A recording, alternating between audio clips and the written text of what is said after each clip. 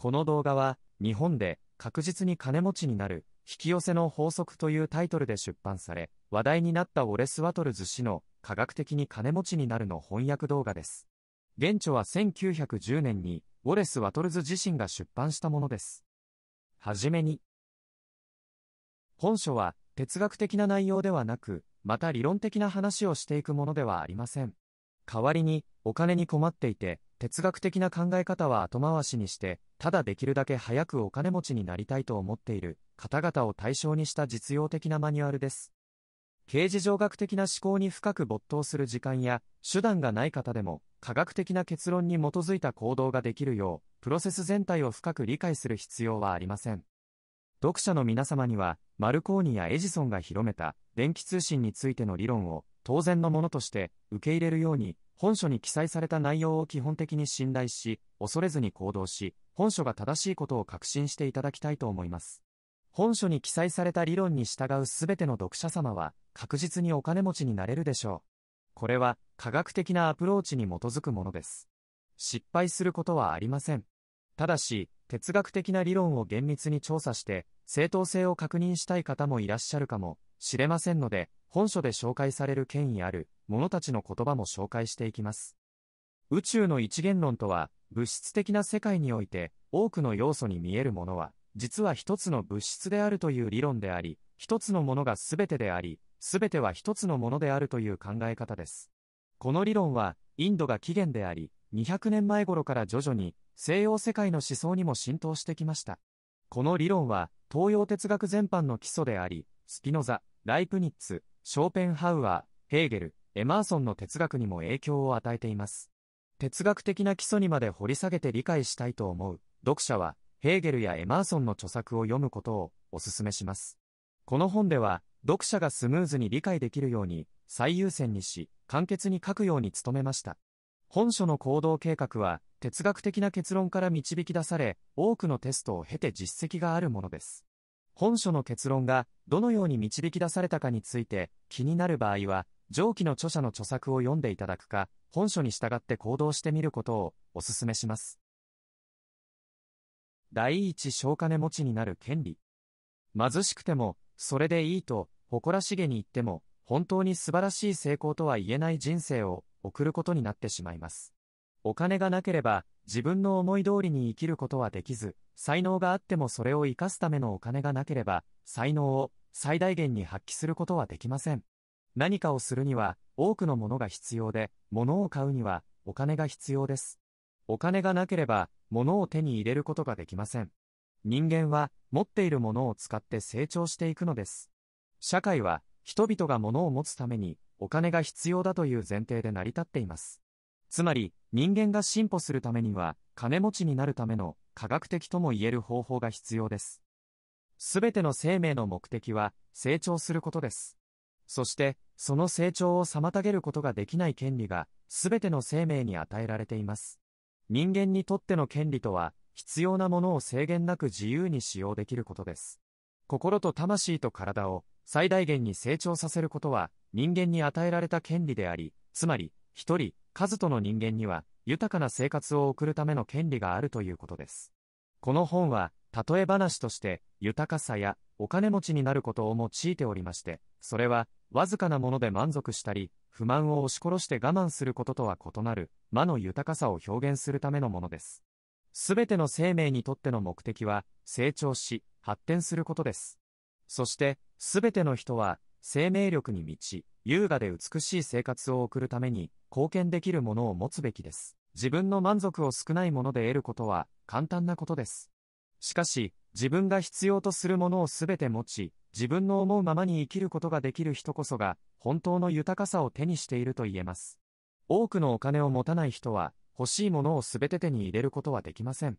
現代社会は、ますます複雑になっており、ごく普通の男女でも、豊かな生活を実現するには膨大な金額が必要になることがあります。自分の可能性を最大限に引き出すことを望むことは自然なことです。その欲求は人間に備わっている本能的なものであり、自分自身をより良い方向に導こうとするものです。成功とは自分が望む人生を手に入れることであり、それを実現するためには、様々な手段を活用する必要があります。そして、必要なものを自由に手に入れ、活用するためには、お金が必要です。つまり、お金持ちになるための知識は、すべての知識の中でも、最も必要なものなのです。金持ちになりたいと思うことは、何も間違っていなくて、悪いことでもありません。金持ちになりたいという欲求は、より豊かで充実した生活を送りたいという欲求であり、大きな賞賛に値するものです。豊かな生活を送りたいと思わない人は、違和感を感じるかもしれません。自分が欲しいものを手に入れるために、十分なお金が欲しいと思うことも、当たり前のことです。私たちの生きる目的は、体と心と魂のためだと言えます。この3つのうち、どれが他よりも優れているとか、より神聖であるということはありません。3つのすべてが大切なものです。体、心、魂のどれかが十分に育まれていない場合、完璧な人生を送ることはできないでしょう。心や体だけを重視して、魂だけを無視することも尊いことではありません。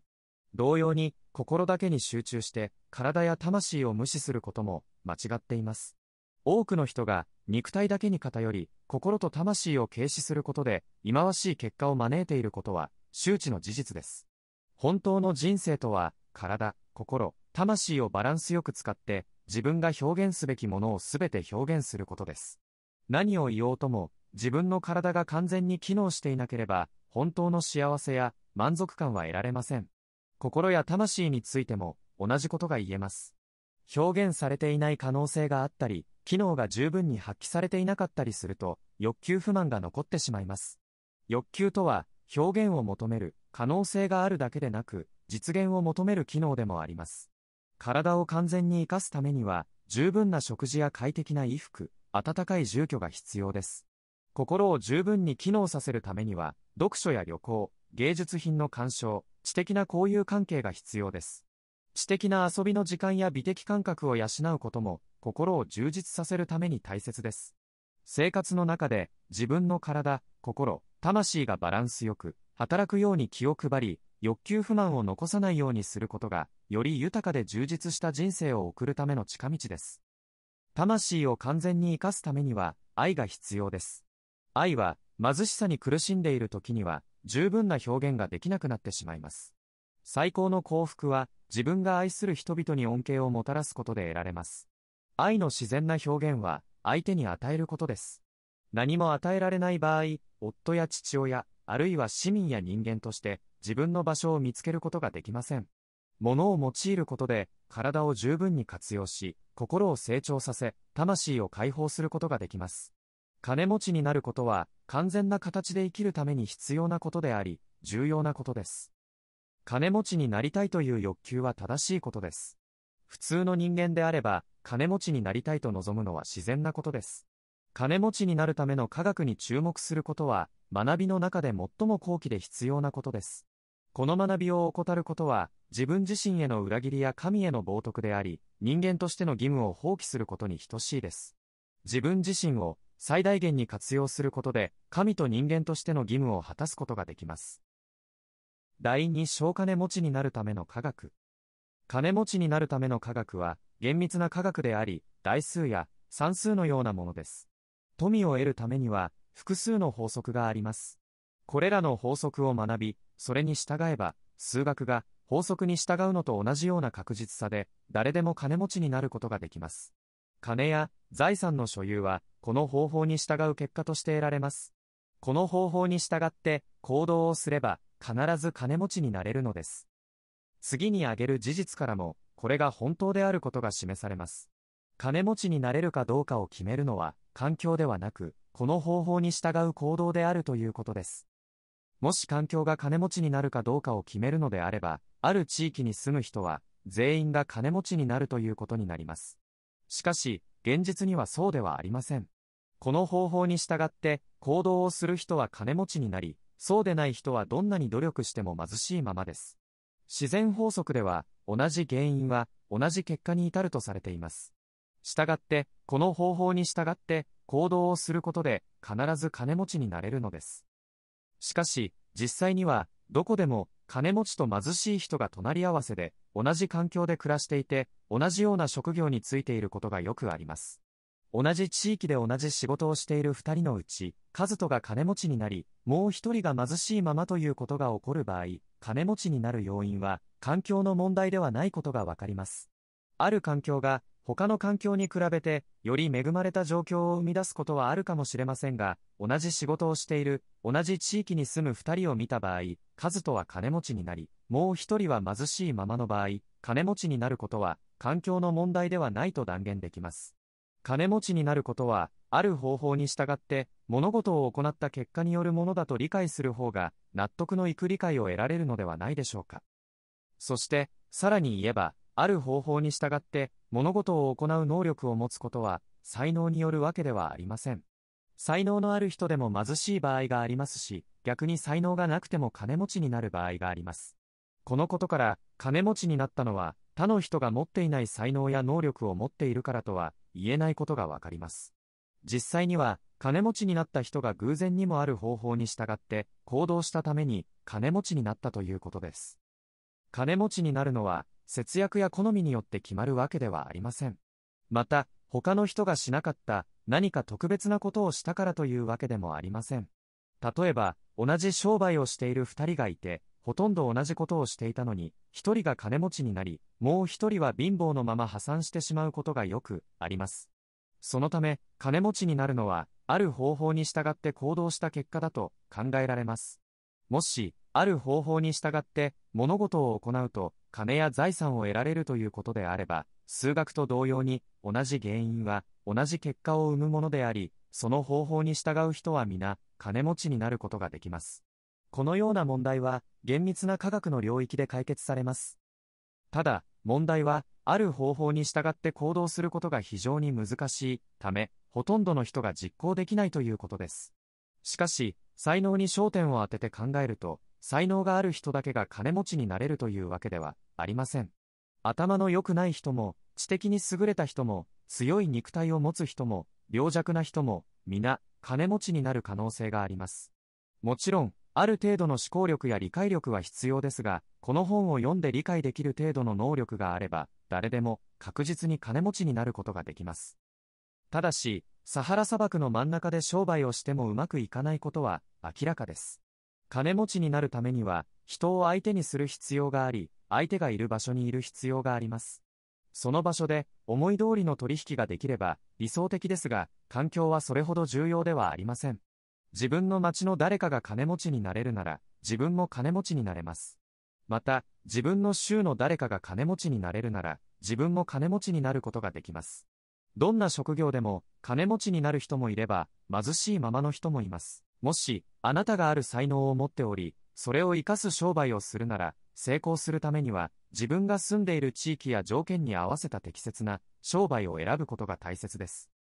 例えば、アイスクリーム屋を開く場合は、温暖な気候が適している場所で開く方が成功しやすく、鮭の漁業をする場合は、北西部の方が成功しやすいでしょう。しかしながら、一般的な条件は別にして、金持ちになることができるかどうかは、何か特定の商売をしているかどうかではなく、成功するための方法を知っているかどうかにかかっています。例えば、あなたが同じ商売をしている地元の人が成功しているのに、あなたが成功していない場合、それはその人が成功するために取った方法をあなたが取っていないからです。資本が少ないから成功できないということはありません。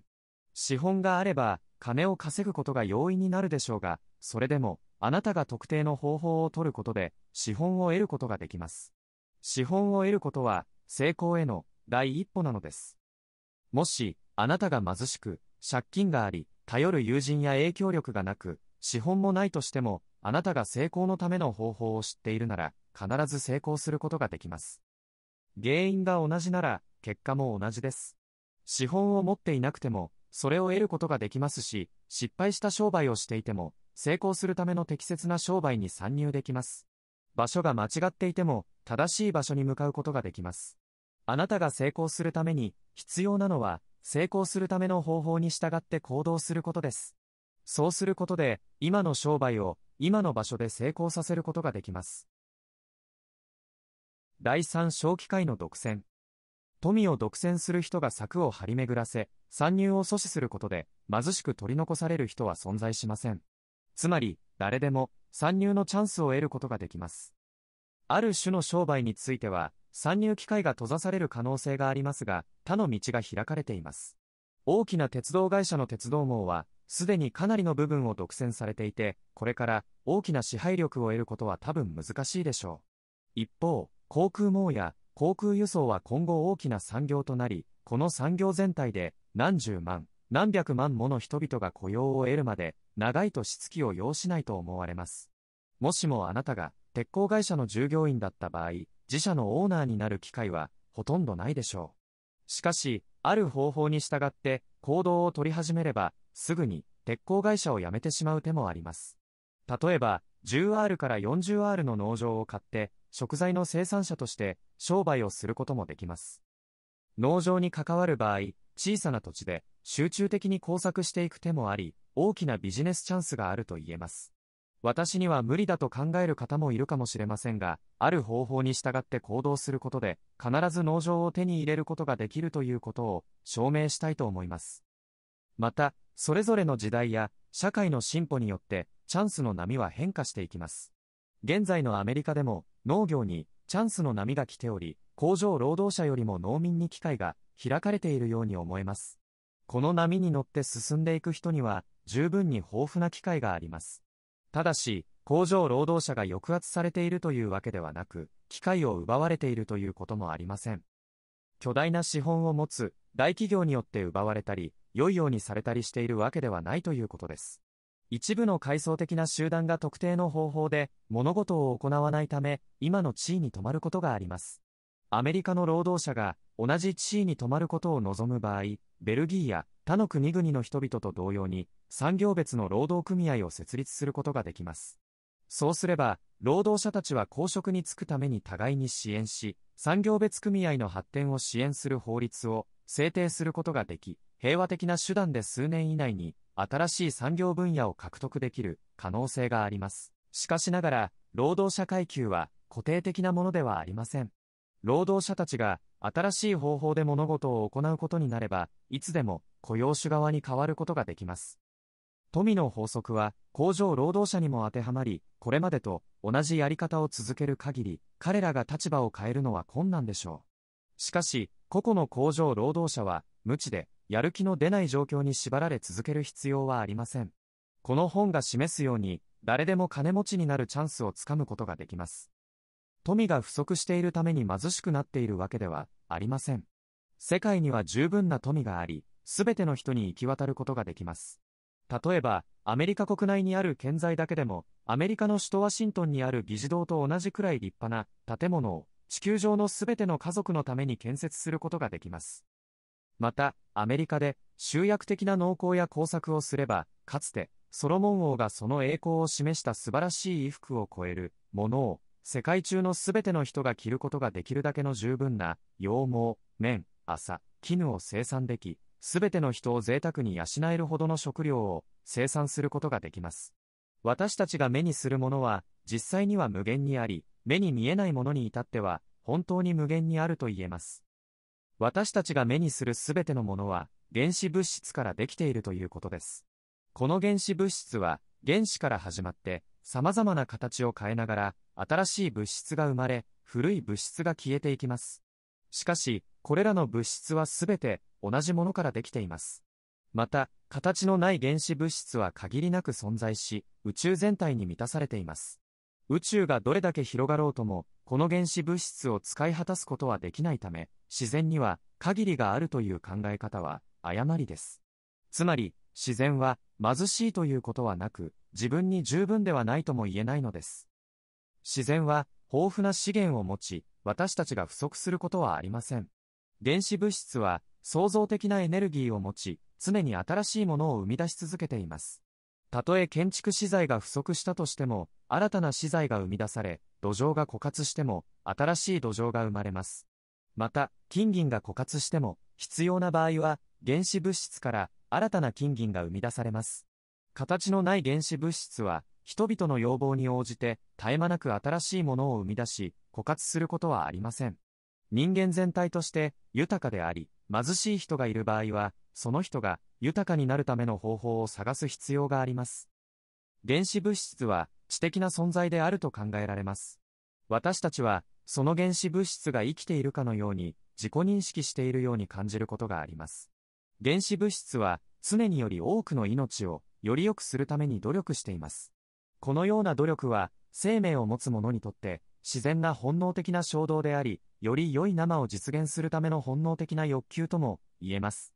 知性には、自己を成長させ、意識の範囲を拡大し、より完全な表現を追求する性質があります。宇宙に存在する形あるものは、原子物質が自己をより完全に表現したいという欲求から生み出されたものです。宇宙は多くの生命とより完全な機能を実現するために常に生き生きと活動している偉大な存在です。自然は生命が成長するために形成され、生命を増やすことが目的となっています。このため、生命を増やすことに役立つすべてのものが自然から豊富に提供されています。神が自己と矛盾することなく、創造的な活動を行っている限り、不足は起こらないと考えられます。富の供給が不足することが貧困の原因ではなく、形のない原子物質は、ある方法に従って行動するだけで自由に活用することができるということを、今後証明していきたいと思います。第4小金持ちになるための基本原理。思考が型のない原子物質を具体的な富に変える唯一の力であるということです。すべての物質は思考する原子物質から作られ、思考によって原子物質を別の形に変えられるのです。原子物質は自分自身の思考によって動きます。自然界で見られるすべての形と変化は原子物質の思考によって表現されたものです。原子物質が特定の形を思い浮かべると具体的な形を作り出すことができます。これがすべてのものが創造される過程であり、私たちが生きる世界は思考によって生み出された宇宙の一部です。宇宙は常に活動しており、形のない原子物質で満たされています。原子物質は惑星システムを作ろうと思考したことによって、現在の形を維持しています。原子物質は思考の通りの形を作ることができ、太陽を中心とした地球の循環システムを思考したことによって、そのような形が形成され、今も続いているのです。例えば、大きな菓子の木をゆっくり育てることを思考した場合、原子物質は決まった原理原則に従って、ゆっくりと成長していく木を創造する力が活動し始めます。そして、満たされた目に見えない物質があらゆる形を生み出すことに用いられ、具体的な形へと創造されていきます。しかし、形のない原子物質がある家の構造を思い浮かべても、すぐに家ができるわけではありません。しかし、すでに想像するエネルギーがある場合、力を集中して家を建設することができます。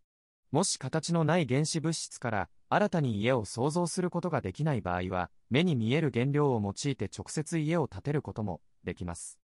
思考が原子物質に刻印されることなく、物を形作ることはできません。思考通りのものを形作るには、原子物質が思考することが必要です。人間が自分自身で服を作ろうとする場合、まず自分自身で考える必要があります。具体的なものを形作るためには、思い描いたものを頭の中で具現化しなければなりません。これまで人間は手で形あるものを生み出すことに努力を集中してきました。形を変更したり、修正したりすることに注力してきました。しかし、形のない原子物質に自分の思考を反映させて、目に見えないものから新しいものを想像することを考えたことはありませんでした。人間が物を作ろうとする場合、自然界にある形ある材料を集めて、自分の頭の中で思い描いたイメージを具体的に形作ってきました。人間はこれまで、型のない原子物質と協力する努力をしてこなかったのです。また、神と共に働くことも考えたことがありませんでした。神がしていることを人間もそのままにできるとは恐れ多くて夢にも思わなかったのです。人間は手仕事によってすでにあるものの形を変え修正することはしてきました。しかし自分の思考を型のない原子物質に投げかけることによって目に見えない形のない原子物質からものを新たに作り出すことについては思いもよらなかったのです。本書ではどんな人でもそれができることを証明し、その方法を示したいと思います。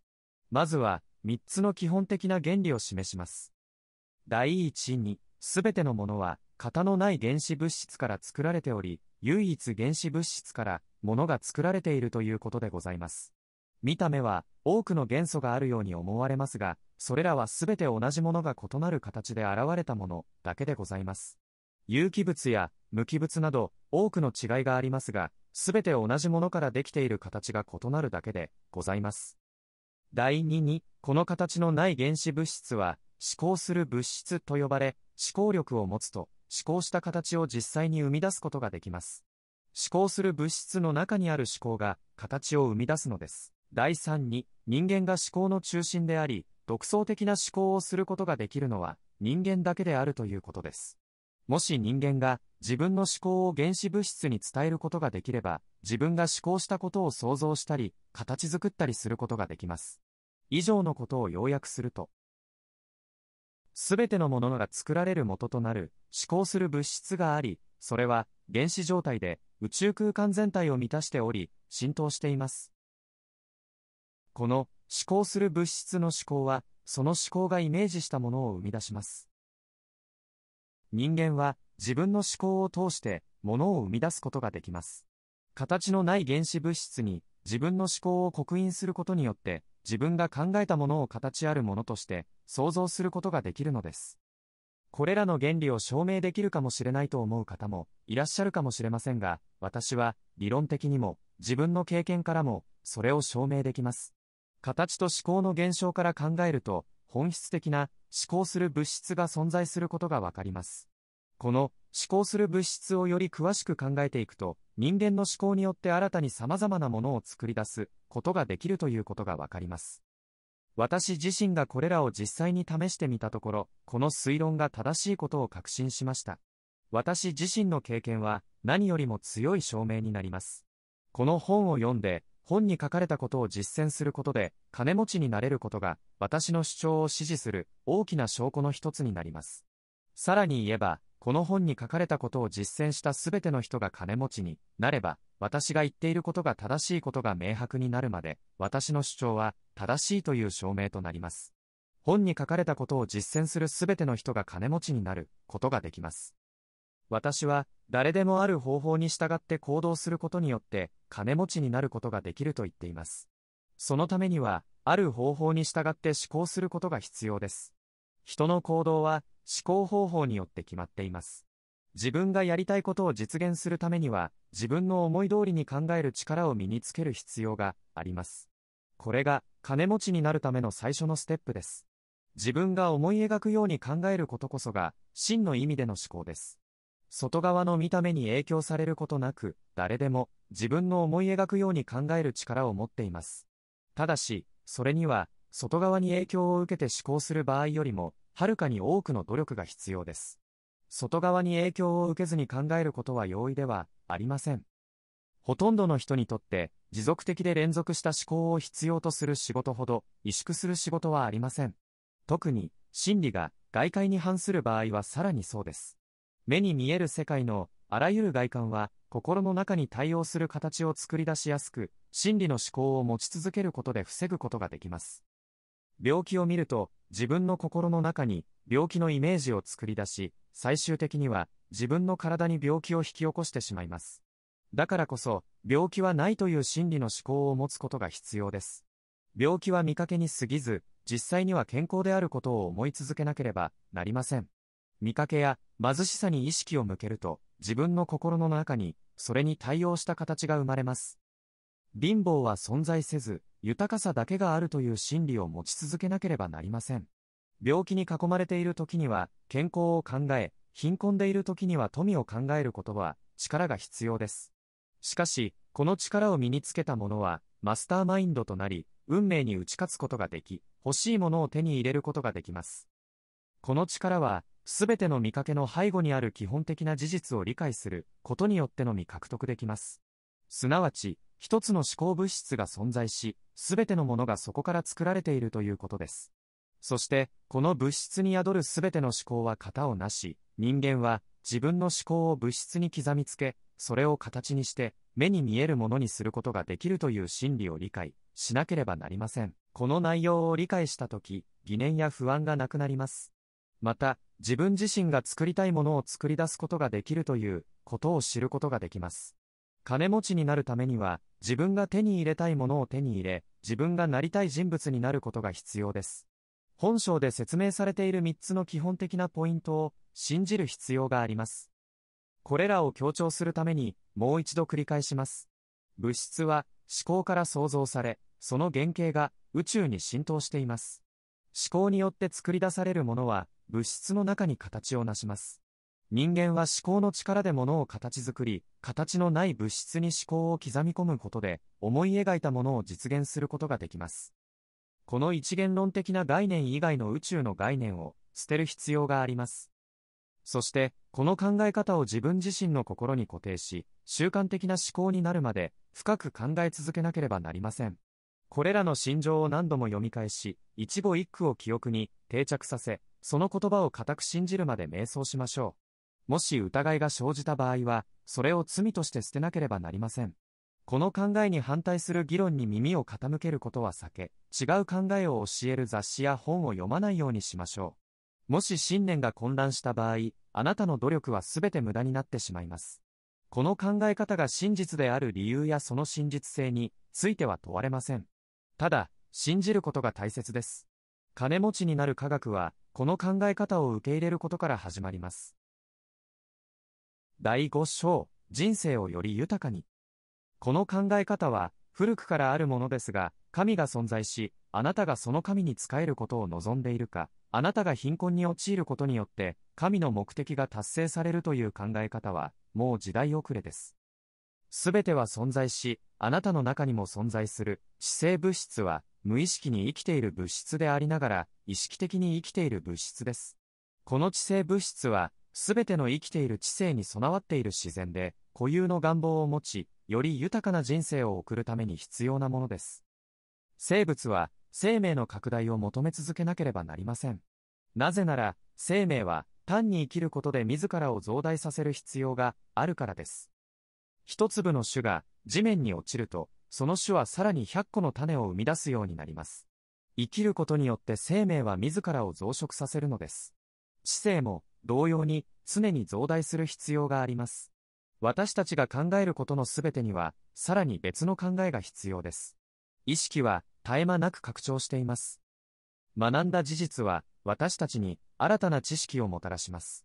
知識は常に増えています。育てた才能は、さらに別の才能を引き出す欲求を生み出します。私たちは、生命の衝動に支配され、もっと知りたい、もっと成し遂げたいと思うようになります。そして、より多くを知るために、より多くのことを行うために、より多くのものを所有する必要があります。そうしなければ、私たちは学び、行動し、成長することができません。私たちは、より長く生きるために、より豊かになる必要があります。豊かさへの欲求とは、充実した豊かな人生を望む力です。すべての欲求は、表面に現れていない可能性を行動に移そうとする努力です。欲望を引き起こすのは、それを実現しようとする力です。もしもっとお金を欲しいと思うなら、それは植物を成長させることを望むのと同じです。それは、生命がより完全な表現を求めているからです。一つの生命体は、すべての生命に内在する、この法則に従う必要があります。長生きしたいという欲望があります。だからこそ、物を創造する必要があります。一つの物質は、あなたの中でもっと生きたいと望んでおり、それゆえ、あなたが使えるすべてのものを持つことを望んでいます。あなたが豊かになることは、神の望みです。それは、あなたが神を表現するために使えるものをたくさん、持っていれば、彼はあなたを通じて、よりよく自身を表現できるからです。あなたが人生の手段を無制限に支配できれば、神はあなたの中でより豊かに生きることができます。宇宙はあなたが手に入れたいものすべてを手に入れることを望んでいます。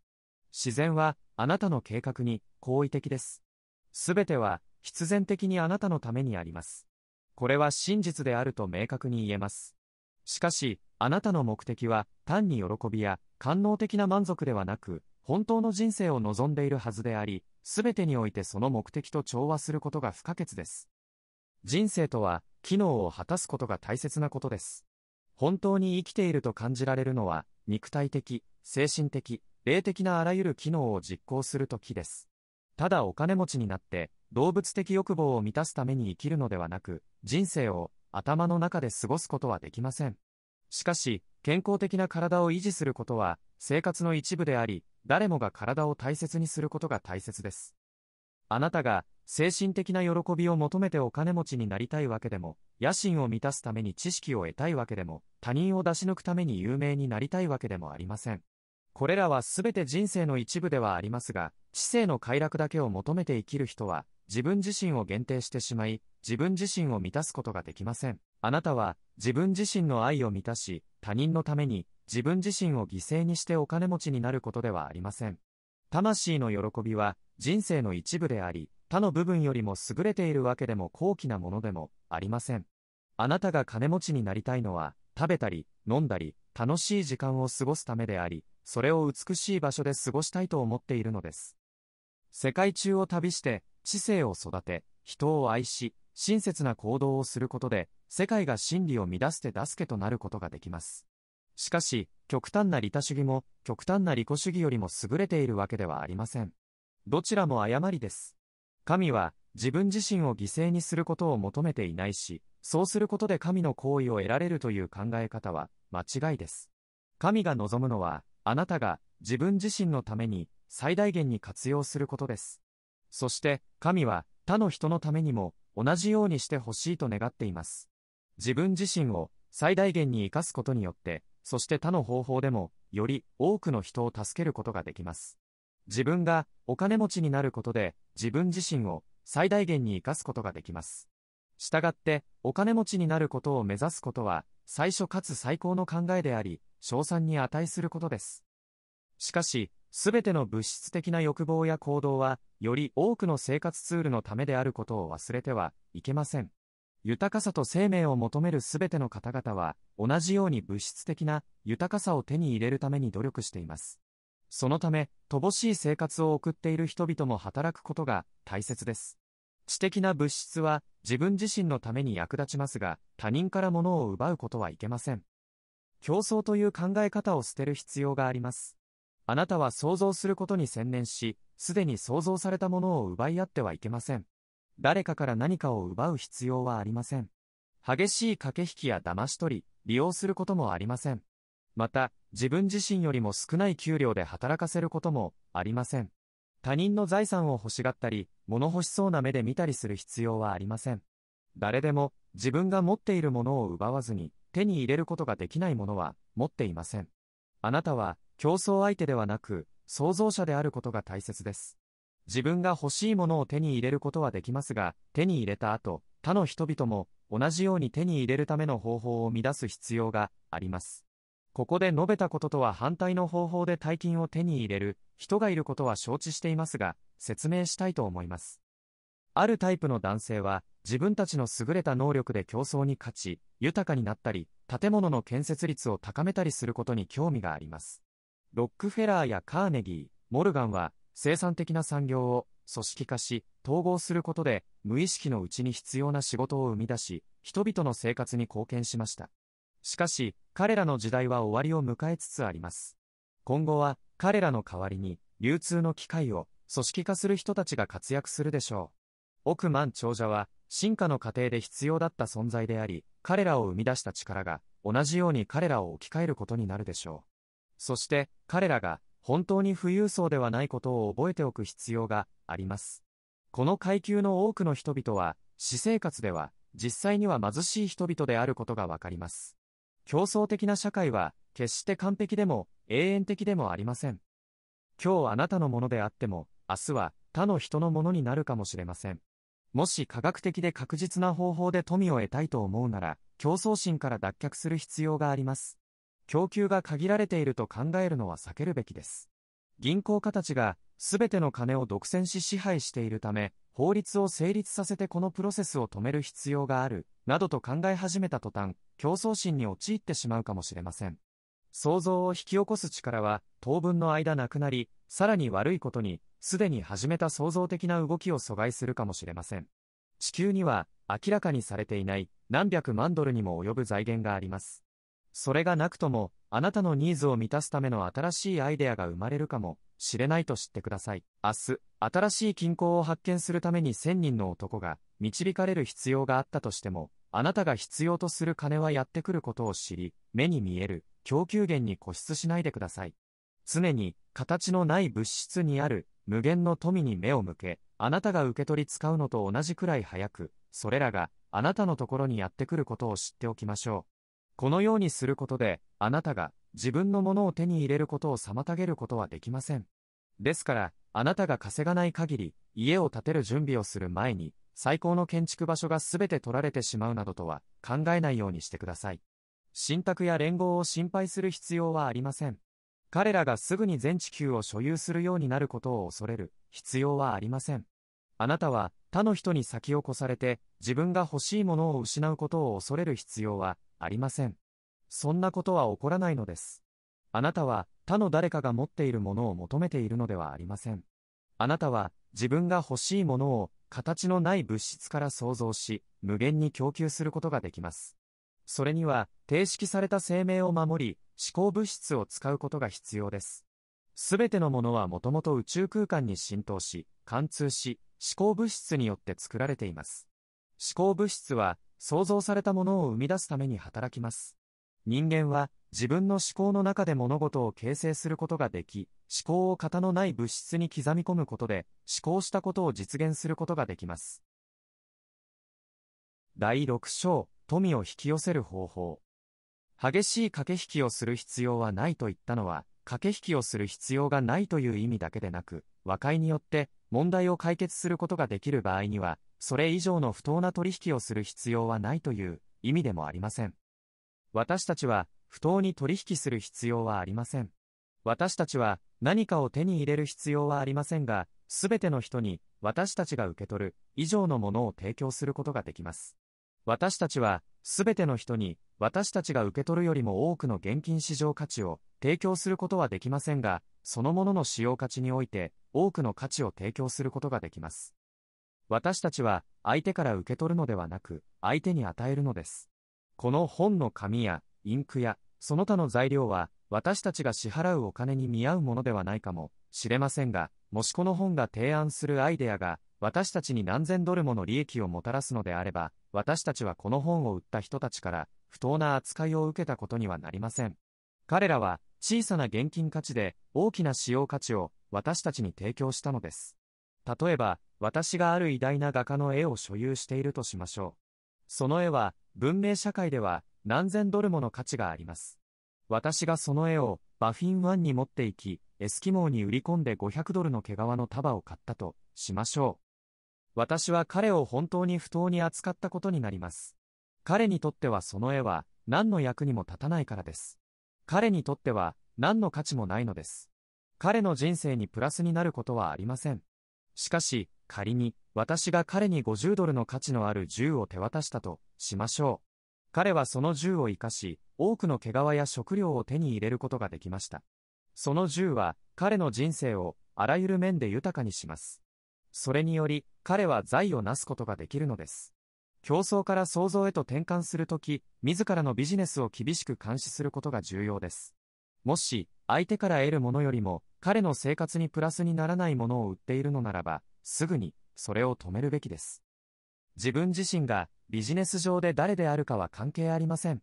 そして、もし誰かを打ち負かすような商売をしている場合は、すぐに手を引くべきです。すべての人に、私たちが彼らから、現金価値で受け取るよりも多くの使用価値を提供しましょう。そうすることで、すべてのビジネスは世の中の生活を豊かにすることができます。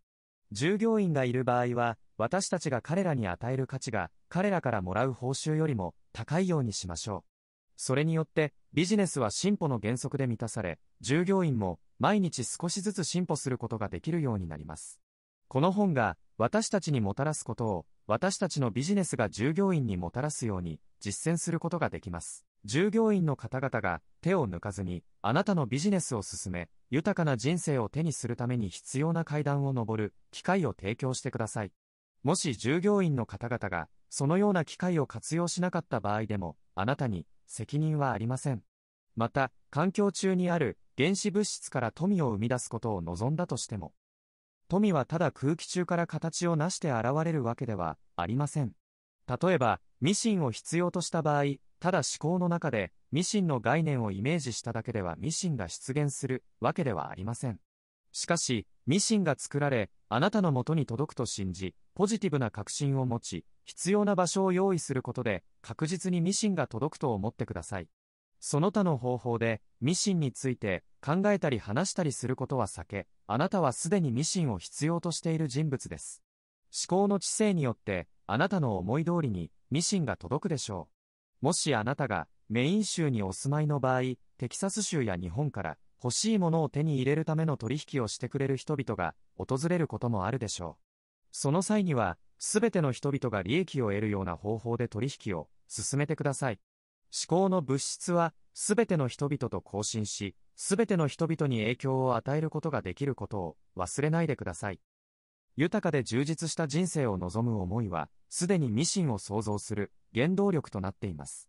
そして、人々が設計や信念に基づいて確実に行動することで何百万ものミシンを生み出すことができるのです。あなたは確実に自宅にミシンを持ち、またあなたが必要としている他のものを自身や他人の人生の進歩のために使用することができます。イエスはあなたはためらうことなく尋ねることができます。あなたに王国を与えることはあなたの父の喜びであると言いました。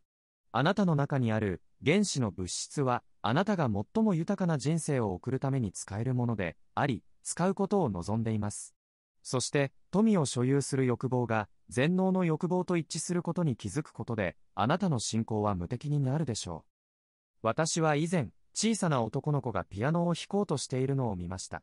彼は音楽を感じることができながらも、うまく演奏できないことに悩んでいました。私が尋ねると、自分の中に音楽を感じることができるのに、手がうまく動かないんだと答えました。その男の子の中にある音楽は、原子物質の衝動によるものであり、表現を求めていました。神は、私たちが生きて行い、楽しむことを望んでいます。神は、私たちに、素晴らしい建造物を作り、ハーモニーを奏で、美を鑑賞し、真理を語り、歌を歌う才能を与えています。そして、私たちがこれらの才能を最大限に開花させる手段を持っていることを願っています。また、神は私たちに服や食べ物などを楽しむ機会を与えてくれます。私たちが感謝し、喜ぶことを神も喜びます。パウロは自分の意思を実行するために働くのは神であると述べました。お金に対する欲求は自分自身を表現するために必要なものであり、神はピアノを演奏する少年のようにそれを乱す手助けをしてくださるものです。ですから、あなたは遠慮する必要はありません。あなたの役割は、神の願いを中心に置いて、自己表現することです。これは、多くの人にとって、難しいことです。彼らは、貧困や自己犠牲が神に喜ばれると信じる古い、信念に固執しています。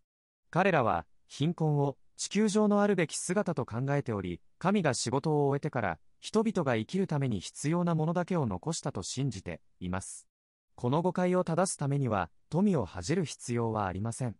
控えめな能力ではなく、十分に快適な生活を送るための能力以上を求めるべきです。とはいえ、ある生徒は、自分が望むものを明確にイメージし、それを形のない物質に刻印することができました。彼は貧しい男性で借家に住んでおり、毎日働いて稼いだお金しか持っていませんでした。しかし、彼は自分が富を所有できることを理解していませんでした。そこで、彼はよく考え、この本に書かれたように、分別を持って、一番良い部屋に新しい敷物を敷き、寒い時期に暖かい無塩炭ストーブを手に入れることを決めました。数ヶ月後、彼はこれらを手に入れたのです。その後、彼はまだ足りないと感じ、自分が住んでいる家を改善し、自分の理想の家を完成させるために出窓をつけたり、部屋を作らないように計画しました。そして、全体像を頭に描きながら、家具を揃える計画を立てました。彼は、確かな方法で生活し、自分が望むものに向かって進んでいます。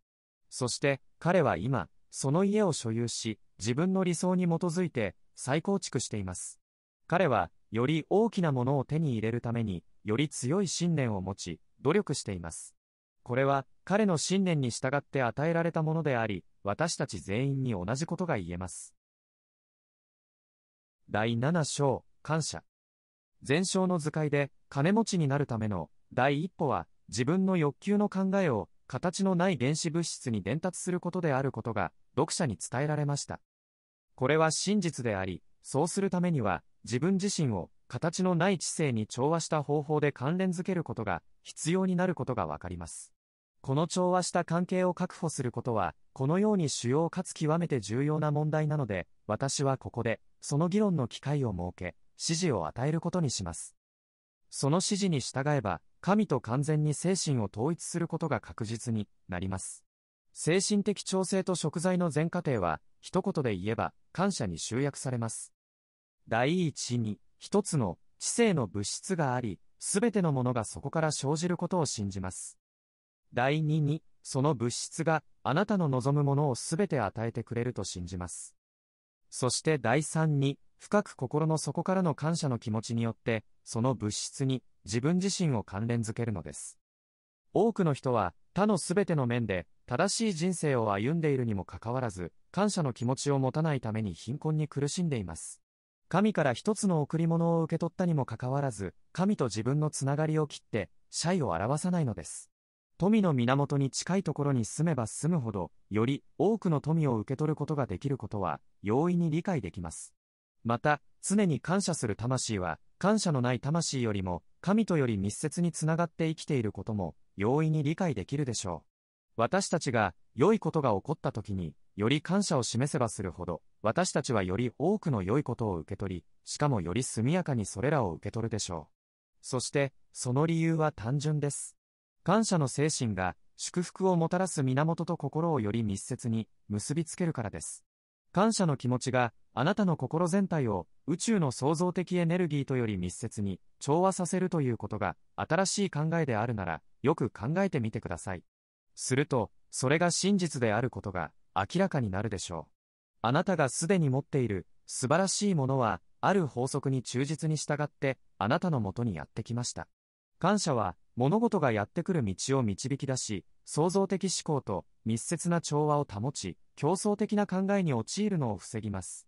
感謝だけで、あなたは全てに目を向け、供給が限られているという、誤った考えに陥るのを防ぐことができます。そして、それは、あなたの希望にとって、非常に重要です。感謝には、法則があり、求める結果を得るためには、その法則を守ることが絶対不可欠です。感謝の法則とは、作用と反作用が常に対等であるという自然の原理です。あなたの最高神への感謝と賛美は、力の自由主義者、または探求者のようなものです。あなたがすでに持っている素晴らしいものは、ある法則に忠実に従って、あなたのもとにやってきました。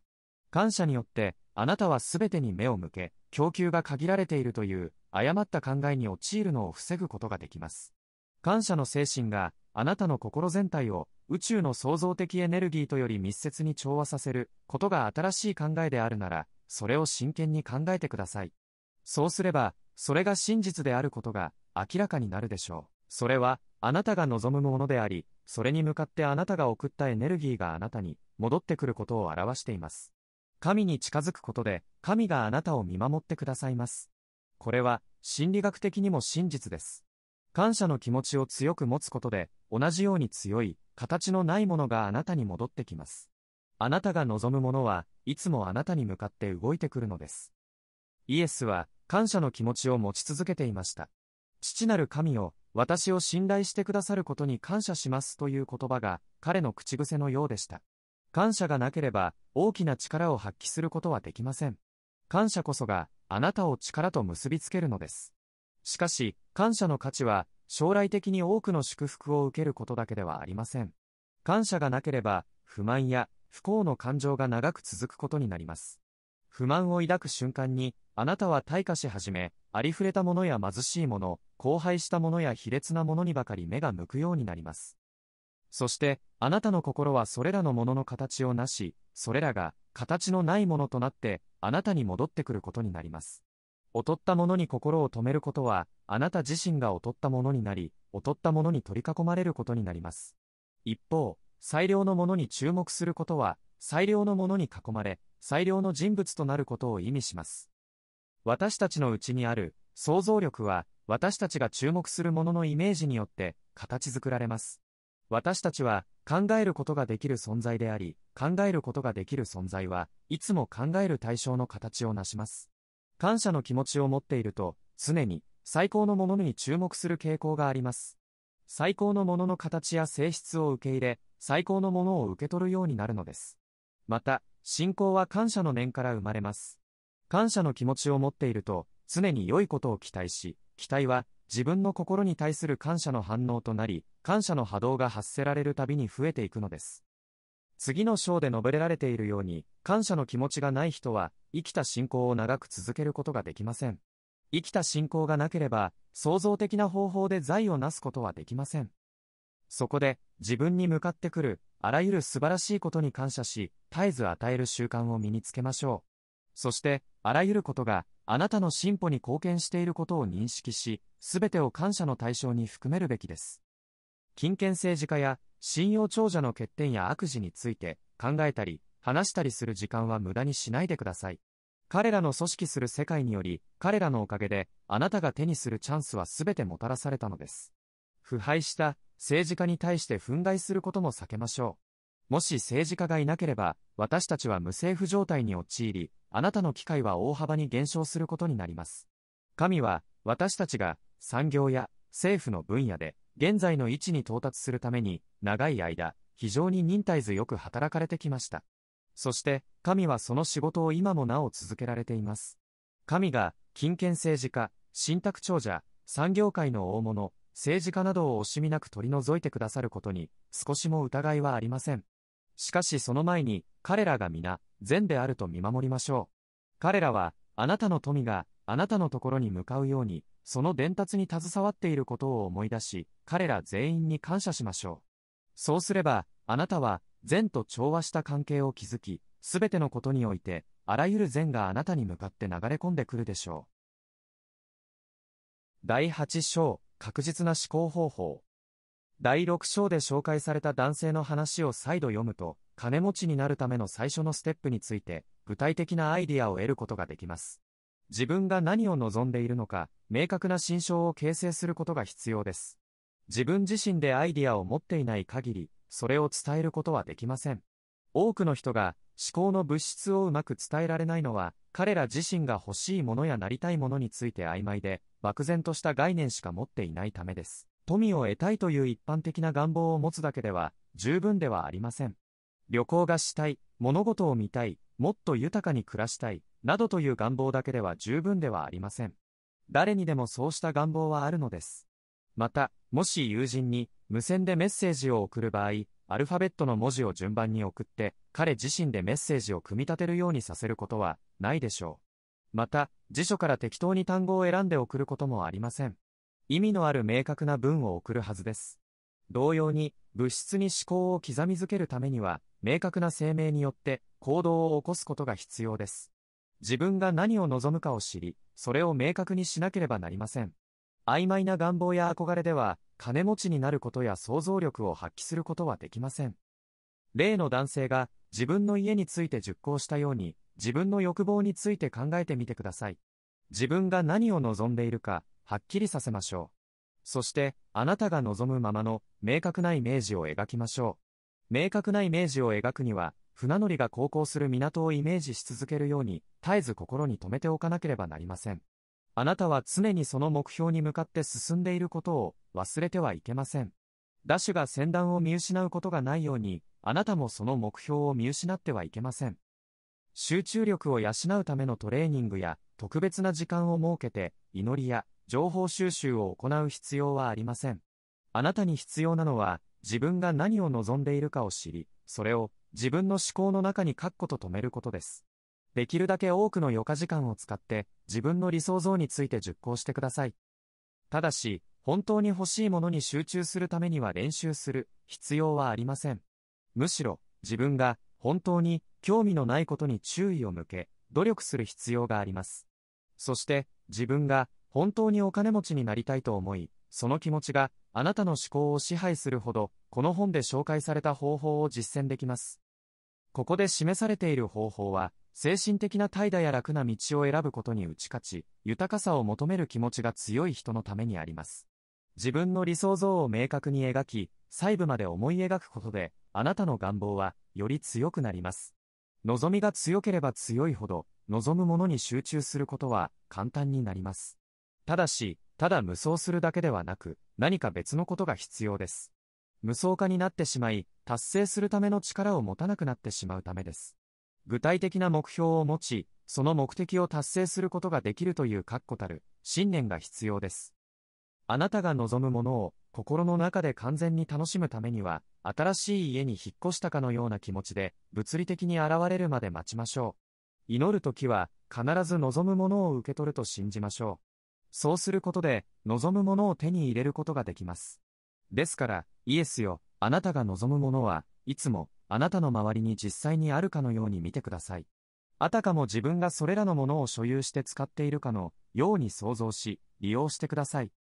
そして、それらを実際に手に入れるまで心の中で所有し続けましょう。自分が持っているものであるという確信を持ち、その信念が揺らがないようにしましょう。そして、前章で述べた感謝の気持ちを忘れずに思い出しましょう。まだ手に入れていないものについても、心から神に感謝することで、本当の信念を持つことができます。彼は必ず富を手にするでしょう。彼は望むものを作り出すことができるでしょう。何度も祈る必要はありません。このことを毎日人に伝える必要はありません。異教徒がイエスの弟子たちに対して行うような無駄な繰り返しは避けるべきです。あなたの役割は、より豊かな人生を築くための願望を理性的に説明し、これらの願望を明確な統一体に整えることです。そして、あなたが欲しいものをもたらす力と働きを有する、形のない物質に、この願望を刻みつけなければなりません。この刻みつけは、単に言葉を繰り返すことではなく、揺るぎない目的とビジョン、そして揺るぎない実現の信念を持つことによって行われます。祈りの答えは、話している時の信念ではなく、働いている時の信念によって示されます。安息日を特別な時間として設けて、自分の望みを神に伝えることは重要ですが、残りの週で神を忘れないようにしてください。自分自身の祈りの場で祈ることで、神の心を動かすことができます。もし、その問題を頭から追い出すことができるならば、口頭で祈ることは十分に効果があります。特に、自分自身に対しては、ビジョンを明確にし、信念を強めることができます。ただし、口先だけの祈りでは、あなたが望むものは得られません。金持ちになるためには、私たちの祈りは断続的に行われる必要があり、絶え間なく祈り続けることが必要です。そして、祈りとは、その想像を確実な形にするための手段であり、その想像を確信する信念とともに、あなたのビジョンを確実に維持することを意味します。あなたがそれらを受け取ることを信じてください。すべての問題は、あなたがビジョンを明確に形成した後、受け取る方向に向かいます。ビジョンを形成したとき、口頭で思考かつ経験に祈ると良いでしょう。そして、その瞬間から、心であなたが求めたものを受け取ることが必要です。新しい家に住んだり、楽しい服装で車に乗ったりすることを想像してみましょう。旅立ち、自信を持ってさらなる旅を計画することもできます。自分が望んでいたあらゆる所有物について思いを馳せましょう。理想の環境や財政状態を思い描き、常にその想像上の環境や財政状態に生きることを正確に想像しましょう。ただし、ただの無双化ではなく、現実的な目標を持ち、想像が実現したと信じることを忘れないようにしてください。科学者と無双化の違いは、想像力を用いることにある信念や目的の違いです。その事実を知ったからこそ、適切な意思決定をするための訓練を行う必要があるのです。第9小医師の働かせ方。金持ちになるためには、科学的な方法を用い、医師の正しい働かせ方を学ぶ必要があります。しかし、自分自身以外のものに自分の意志の力を使うことは許されません。あなたにその権利はないのです。他人に自分が望むことを強要することは誤りです。精神的な力で人を強制することは、肉体的な力で強制することと同様に、明らかに間違っています。もし、物理的な力で人に物事をさせることが、その人を奴隷にするのであれば、精神的な手段で強制することも全く同じことを意味します。あなたの意志の力を他人に対して使用する権利はありません。たとえそれがその人のためだとしても、何がその人のためになるのか、あなたにはわからないからです。金持ちになる科学においては、他人に対して権力や力を行使する必要はありません。何らかの手段を用いることで、自分自身の意志の力を使って金持ちになることができます。実際、自分の意思を他人に押し付けることで、自分自身の目的を達成できなくなる危険性があります。自分自身の意思で物事を行うことによって、その物事を強制的に自分のものにすることはできません。それは単に神を従わせることと同じことになります。そのような行為は愚かで無駄であり、さらには関係のないことです。金持ちになるためには、自分自身の意志の力を自分自身のために使うことが重要です。自分が正しいと考え、正しいことを行うように、自分自身を強制することが必要です。それこそが、意志の正当な使い方であり、自分自身が望むものを手に入れ、正しい道を歩むための方法です。自分自身の意志の力を使って、自分が選んだ道を進み続けるようにしてください。自分の意志や思考や心を宇宙に投影して、物事や人に作用させようとしてはいけません。自分の心は内に留めることが大切です。内に留めた心の中で多くのことを達成することができます。あなたの心で、あなたが望むものの心象を形成し、信念と目的を持ってそのビジョンを保ち、意志を働かせて、あなたの心が正しい方法で動き続けるようにしてください。あなたの信念と目的が安定的かつ継続的であればあるほど、あなたはより速やかに金持ちになることができます。肯定的なものだけを宇宙に刻み込むことで、否定的なものと中和したり相殺したりする必要がありません。信念と目的を抱いた自分の欲望の図は、形のないものに取り込まれ、宇宙中に浸透していきます。私が知っている限りでは、この刻印が広がると、あらゆるものが、その実現に向けて動き出し、あらゆる生物、あらゆる無生物、まだ想像されていないものが、あなたの望むものを実現する方向に舵を切っていくのです。すべての力がその方向に向かって発揮され始めます。あなたの方に向かって、すべてのものが動き始めます。あなたが望むものを実現するために必要な影響を受けたり、必要なことを実行したりするために、どこにでもいる人々の心があなたに働いていることに、あなたは無意識に気づいています。しかし、あなたが否定的な刻印をすることで、それを確認することができます。疑いや不信は、あなたから離れるか、あなたに向かってくる動きを始めます。精神科学を利用して金持ちになろうとする人々が失敗する理由は、これを理解していないからです。疑いや恐怖に時間を費やすことで、彼らは失敗してしまいます。不信心が支配する時間は、あなたの知性物質の全領域からあなたを遠ざけていきます。すべての約束は、信じる者にしか届かないことを、イエスは何度も繰り返し語りました。信じることが何よりも重要である以上、自分の思考を守ることは当然です。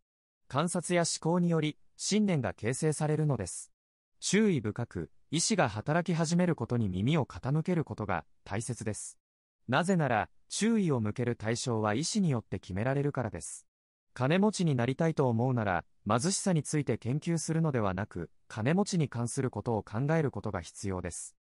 物事は、反対側に注目することによってもたらされるものではありません。健康になるためには、病気に関する研究や思考では得ることができません。罪を研究し、考えても、正義は促進されません。同様に、貧困を研究し、考えても、金持ちになった人はいません。医学は病気の科学であるため、病気を増やし、宗教は罪の科学であるため、罪を増やしてきました。そして、経済学では、貧困を研究することが世の中を不幸と欲望で満たすと言われています。したがって、貧困については話さず、調査したり、関心を持ったりすることは避けましょう。あなたに関係するのは救済であり、時間を事前事業や事前運動に費やすことはしないでください。すべての事前活動は、その対象を長期的に不幸にしてしまう傾向があるだけです。あなたが心を閉ざし、不親切であり、困っている人の叫びを聞くのを拒絶するべきではありません。しかし、従来の方法で貧困を撲滅しようとすることは避けるべきです。貧困や、それに関連するあらゆることを忘れ、自分が良い富豪になることに専念してください。それが貧しい人々を助けるためにできる最善の方法であり、貧困の図に心を支配されてしまえば、自分自身を豊かにすることはできません。本を読んではいけません。長屋住まいの惨めさや、児童労働の恐ろしさなどの状況説明が載っている新聞も読まないでください。欲望と苦痛の暗いイメージで、あなたの心を満たすようなものは読まないでください。これらのことを知ったところで、貧しい人々や最下層の人々を助けることはできません。また、これらのことが広く知られるようになったからといって、貧困をなくすことには全くつながりません。貧困をなくすためには、裕福な人々が貧困について考える数を増やすことではなく、富を得ることを信念とし目的を持つ貧しい人々の数を増やすことが必要です。貧しい人々が求めているのは、事前ではなく、インスピレーションです。事前では彼らは生き残り、悲惨な状況から逃れることができません。一方、インスピレーションは、彼らが脱出することができるようにします。貧困層を助けたい場合は、自分自身が裕福になり、彼らが豊かになる方法を示してください。貧困がなくなる唯一の方法は、多くの人々がこの本の教えを実践し、その数が増え続けることです。人々は競争ではなく、想像によって金持ちになることを学ぶべきです。競争によって金持ちになる人々は自分が成功するために他人を踏みつけます。しかし、想像によって富を得る人々は自分の道を切り開き、多くの人々を鼓舞するのです。貧困について話すことを拒否するのは、心の冷たさや無感情ではありません。あなたの意志の力を使って、貧困から心を遠ざけ、信念と目的を持ってあなたが望むもののビジョンに止めましょう。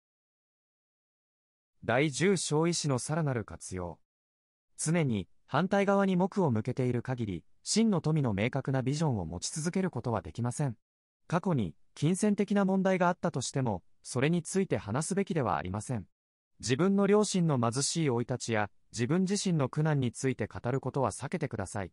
これらのことをすることは自分自身を貧困層に属するものとして制限することになります。そしてあなたの人生に向かって進む動きを妨げることになります。イエスが言ったように死者を葬り生きている者のみを追いかけようと。貧困と貧困に関係することを完全に忘れましょう。宇宙の理論が正しいと信じ、あなたの幸福の可能性を広げてください。反対の理論を聞くことで何を得ることができるでしょうか宗教書で世界が間もなく終わると書かれていたり、批判的な哲学者たちが悪魔の支配下にあるというような本を読んではいけません。そういった考え方にとらわれることは、あなたの幸福にとって何の役にも立ちません。世界は悪魔へと向かっているわけではなく、神へと向かっていると言えます。このことは素晴らしいことであり、真実となります。現在、不快なことや問題が存在するかもしれませんが、それらに注目しても何の意味があるでしょうか。確かに、問題や困難は過ぎ去っていくものであり、その過程で過去を引きずっていることになります。私たちは進化の過程によって成長しており、過去の問題を取り除くことができます。国や地域の状況が恐ろしいと感じても、時間を浪費することはなく、自分自身の成長に注力し、世界が豊かになっていくことを手助けすることができます。私たちは競争的な方法ではなく、創造的な方法で自分自身が豊かになることで、世界が豊かになっていくことを手助けすることができます。貧困の問題に関心を持つ場合、同情するのではなく、祝福されるべき人々として、彼らの可能性を信じて考えるようにしましょう。そうすることで、彼らや他の人たちもインスピレーションを受け、貧困から抜け出すことができます。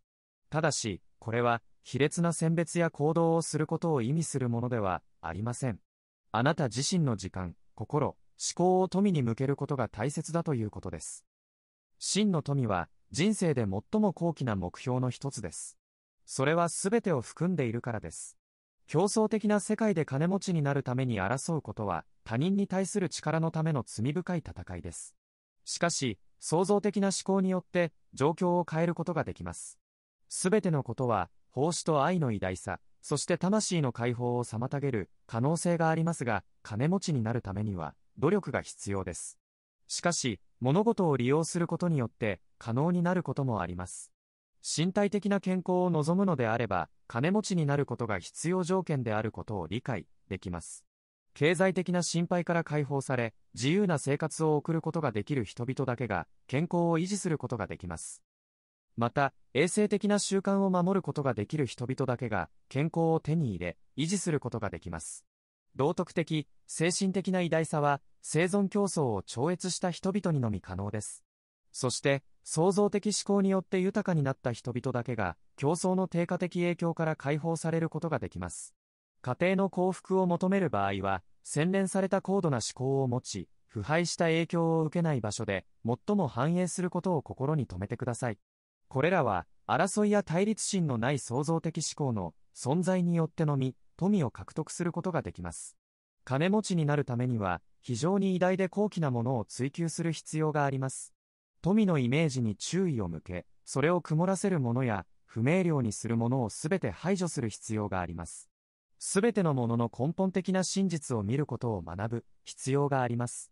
見かけによらず、より完全な表現や調和に向けて進んでいる偉大な一つの命があることを乱す必要があります。それは、貧困というものは存在しないという真実です。一部の方々は、自分たちが実は豊かであることに気づかず、貧困の中に留まっている状況です。彼らには、自らが実践することで、影響を与える方法を示すことが、最も適切な教え方と言えます。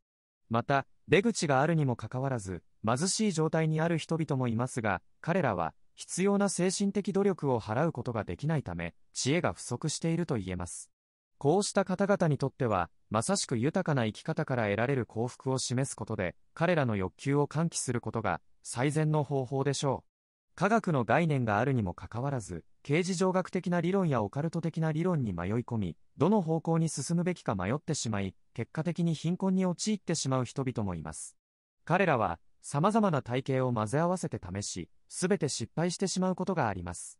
繰り返しますが、最も良いことは、正しい道と、自分自身を実践することで示すことです。実践が1オンスであれば、理論は1ポンドに匹敵すると言えます。あなたが全世界のためにできる最善のことは、あなた自身を最大限に活用することです。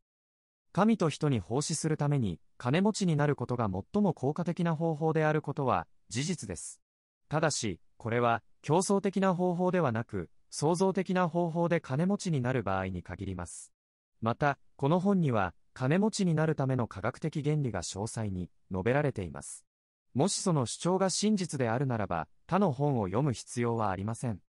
これは強量で、自己中心的に聞こえるかもしれませんが、数学における足し算、引き算、掛け算、割り算以上に科学的な編算方法はないと考えられます。他に方法はありえません。2点間の最短距離も一つしかありえません。科学的に考える方法は、ただ一つ、最も直接的で単純な方法で、目標に到達することです。ここに示された方法よりも簡潔なシステムを定式化した人はまだいません。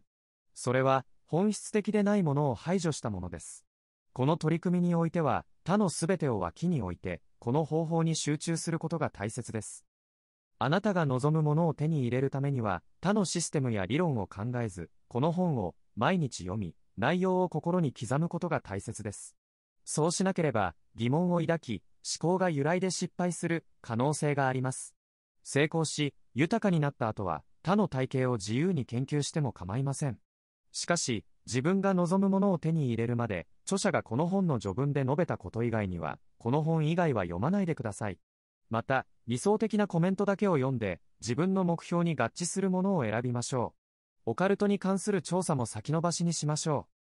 神知学やスピリチュアリズムなどにも手を出さないでください。死者がまだ生きており、あなたに近くにいる可能性が高いかもしれませんが、それを放っておいてください。死者の存在や場所は問題ではありません。自分自身に集中し、自分自身の問題に集中しましょう。彼らには自分たちのやるべきことと解決すべき問題があり、私たちは彼らに干渉する権利はありません。彼らを助けることもできず、彼らが私たちを助けられるかどうかも疑問です。死者や来世については置いておき、自分の問題を解決し、金持ちになりましょう。オカルトに関わると、希望を打ち砕かれるような精神的な逆行が始まることもあります。前章で述べたように、すべてのものは思考物質で作られ、元の状態で充満し、浸透し、宇宙の隙間を埋めています。人間は思考によって物を形成し、形のない物質に思考を刻み込むことで、思い描いたものを想像することができます。そのためには、競争心から創造心に切り替え、自分が手に入れたいものの明確なイメージを形成し、このイメージを自分の思考の中に保ち、確固たる目的と揺るぎない信念を持ちましょう。自分の欲しいものを手に入れるために必要な行動をとり、自分の目的を揺るがすようなものに心を奪われずに、自分の心に向かって進んでいきましょう。そして、今こそ、自分自身に集中し、自分の欲しいものを手に入れるために必要な行動をとることが大切です。第11小確実な行動方法。考えることは想像力を引き出す力であり、確実な方法で考えることは財産をもたらします。ただし、思考だけに頼って行動しなければなりません。科学的形事上学の多くの思想家が困難に直面するのは、思考と行動を結びつけることができないためです。人間は自然の過程を経て、形のない物質から直接想像できる段階には至っていません。人間は考えるだけでなく、自分の行動によって思考を補完しなければなりません。思考によって金を手に入れることができますが、自ら金を採掘して生成して金貨にし、自分のポケットに入れることはできません。最高の霊的力によって、人々の状況が整理され、金を採掘するように導かれるかもしれません。そして、他の人々の取引が自分の方向に流れるようになるかもしれません。しかし、金が手元に届いた時に、まさしく受け取るために、自分の商売を整えなければなりません。思考は、望むものを手に入れるために、あらゆる存在、存在しないものを働かせます。しかし、自分の行動によって手に入れたものを、事前事業や盗みなどで受け取るべきではありません。自分自身が価値を提供し、受け取ったものよりも多くを提供しなければなりません。思考の科学的な使用は、明確な目的を持って、心象を形成し、手に入れたものに感謝の念を持って実現することです。神秘的、またはオカルト的な手法を使って自分の思考を投影することは避けるべきです。しかし、あなたに代わって物事を遂行してくれるという考えは無駄な努力であり、正規を損なう可能性があります。思考の作用と金持ちになることについては、前章で十分に説明されています。あなた自身と同じ欲求を持ち、あなたから受け取ったビジョンを持つ、形のない物質に、あなたのビジョンを確実に刻み込んでください。なぜなら、すべての想像力は、通常の方法を通じて働きかけるため、あなたに向けられているからです。創造過程を指導したり監督したりするのは、あなたの役目ではありません。あなたが行うべきことは、自分のビジョンを維持することです。自分の目的を貫き、信念と感謝の念を持ち続けることです。しかし、それがあなたのところに来た時に、あなたが適切に使用できるように、確実な方法で行動しなければなりません。そうすれば、自分の理想図の中にあるものが運ばれてきた時に、それを適切な場所に置くことができるようになります。この真理は、容易に理解できます。物事があなたに届くとき、それらは同様の望みを持つ他の人々の手にも渡ることになります。そして、自分のものを手に入れるためには、他者にも与えることが必要です。財布が努力しなくとも、常にお金で、いっぱいの幸運の財布に変化することはありません。これこそが、金持ちになる、科学の重要なポイントであり、思考と個人の行動を結びつける必要があります。欲しいものを手に入れるためには、準備を整えておくことが大切であり、また、貧しさを望む強い欲望や執着によって、意識的にも、無意識的にも想像力を発揮している人が、たくさんいます。あなたが望むものを手に入れるには、自ら行動を起こすことが必要です。どのような行動であっても、今すぐ行動を起こすべきです。過去に戻って行動をやり直すことはできません。また、過去のことから解放されることで、自分の心に描くビジョンを明確にすることができます。将来に向けた行動をすることはできませんが、未来はまだ存在していません。将来に備えるために、適切なビジネスや環境に身を置くことで、どのように行動すべきかが明確になります。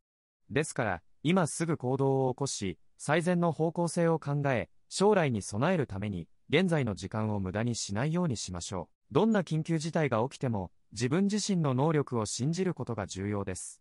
現在を行動する際に、将来を考えすぎると心が分散して、効果的ではありません。今、あなたができることに全力を注ぎましょう。想像力を原動力にして、今すぐに行動を起こす必要があります。望むものを手に入れるために、今から準備を始めましょう。現在のビジネスや雇用、周囲の人々に対して行動することができます。昨日のことにとらわれず、今日の仕事に集中しましょう。未来は、後で考えることができます。手の届かないものに対しては、オカルトや神秘的な方法で対処しないでください。環境が変わるのを待つのではなく、変化に対して即座に行動しましょう。自分自身とより良い環境のビジョンを持ち、信念と目的を持って、強さを持って、現在の環境に対して行動してください。そのために、夢を見たり、お城を建てたりする時間はありません。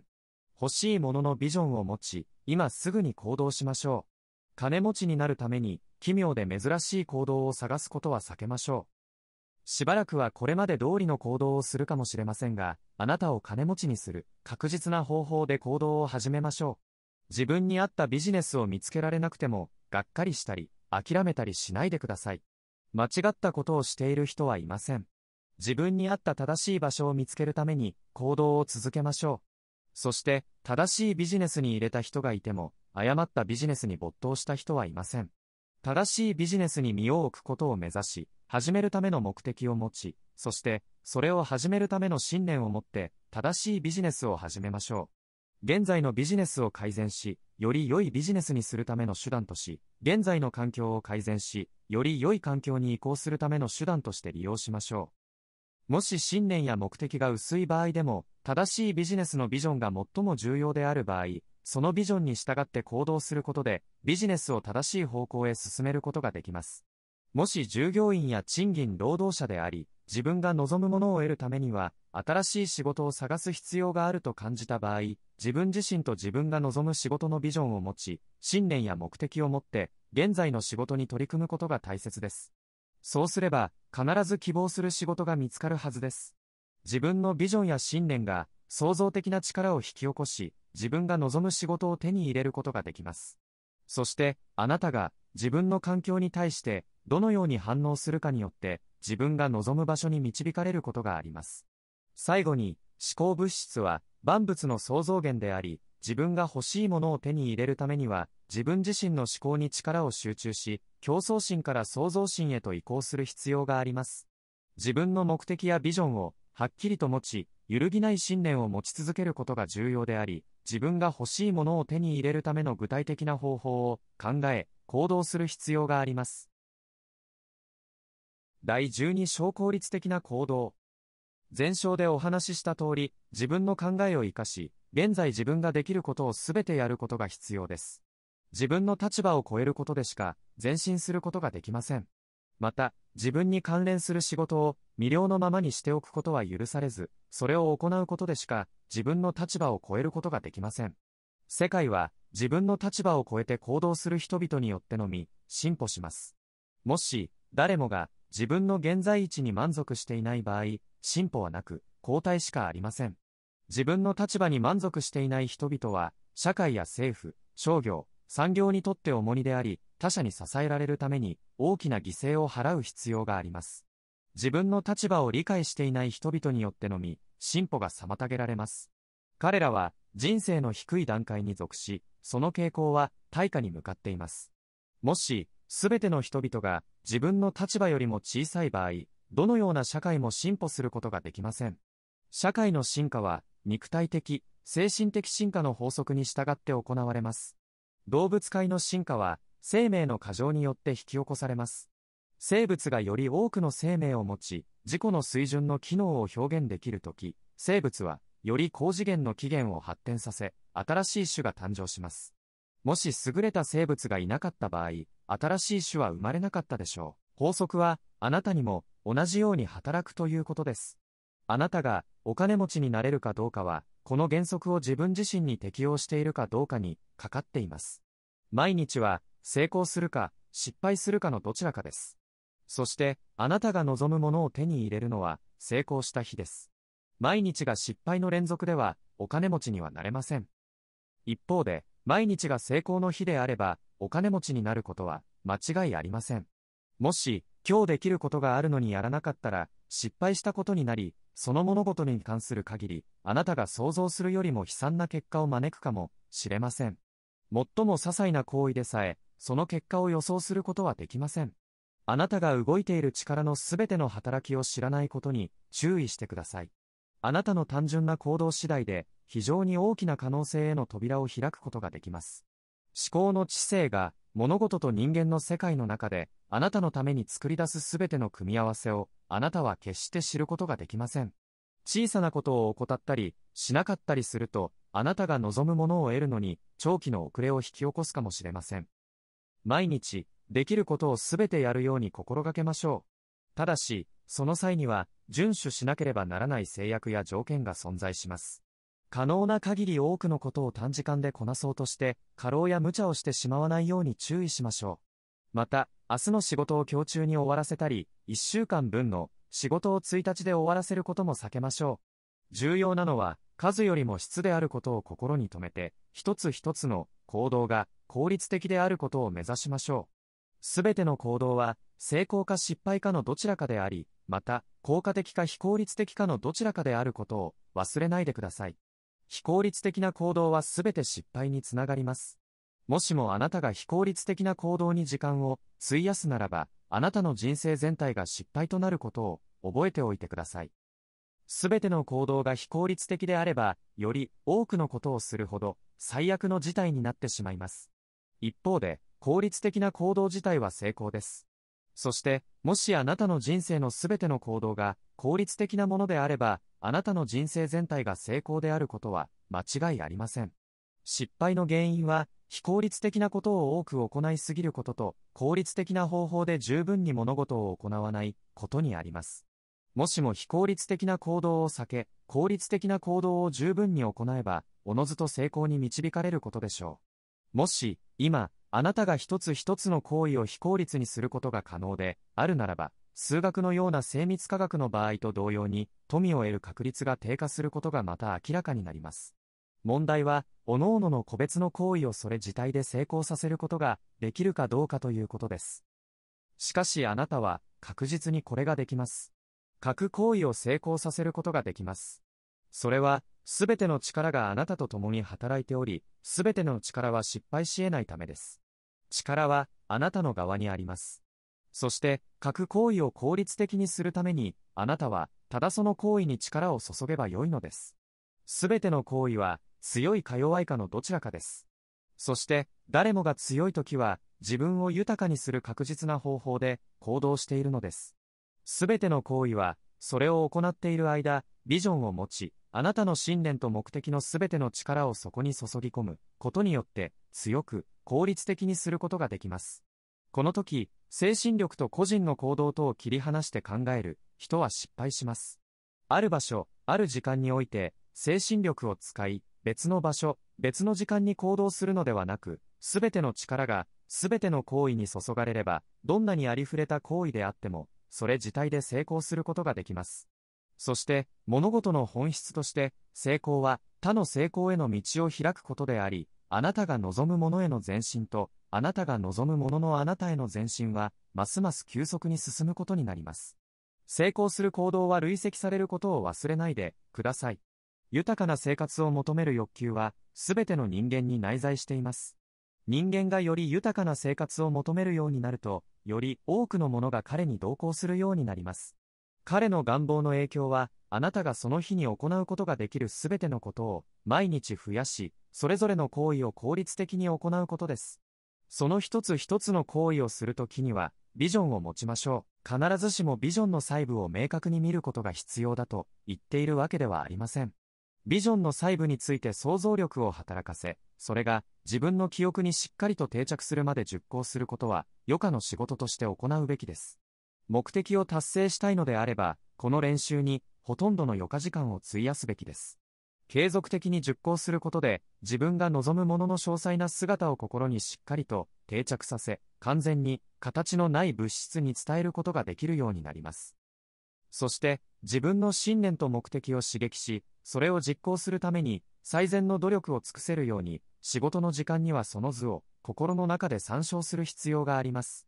余暇の時間には、自分の図について熟考して、意識をそれでいっぱいにするようにしてください。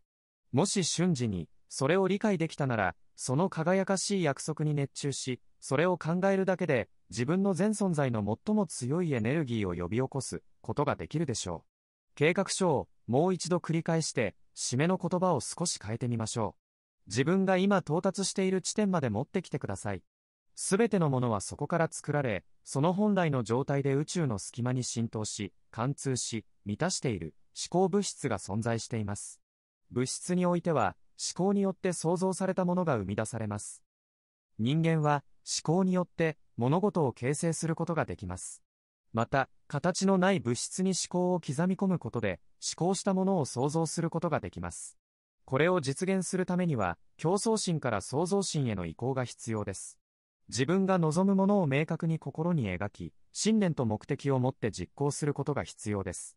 また、すべてのことは、効率的な方法で行うことができます。毎日のルーティンを設け、それぞれの事柄の間を効率的に移動することが大切です。第13章正しいビジネスに参入する。このビジネスで成功できるかどうかは、そのビジネスで必要とされる能力を十分に身につけた状態で持っているかどうかにかかっていることが一つの要因となります。例えば、音楽の教師として成功するには、優れた音楽的才能が必要ですし、機械関連の事業で成功するには、機械に関する能力が必要です。また、詳細や起点が必要なビジネスでは、それらの能力を持っていることが重要です。ただし、必要な能力を身につけたとしても、必ずしも金持ちになるとは限りません。音楽家や家事や大工など、優れた才能を持っていても金持ちになれない人がいます。また、商人でも、人を扱う能力はあるけれども、様々な能力や道具について失敗する人もいます。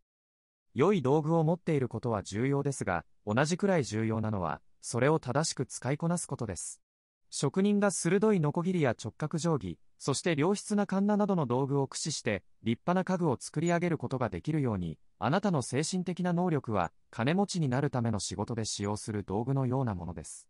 適切な精神的な道具を十分に身につけた上でビジネスに参入すれば成功することは容易でしょ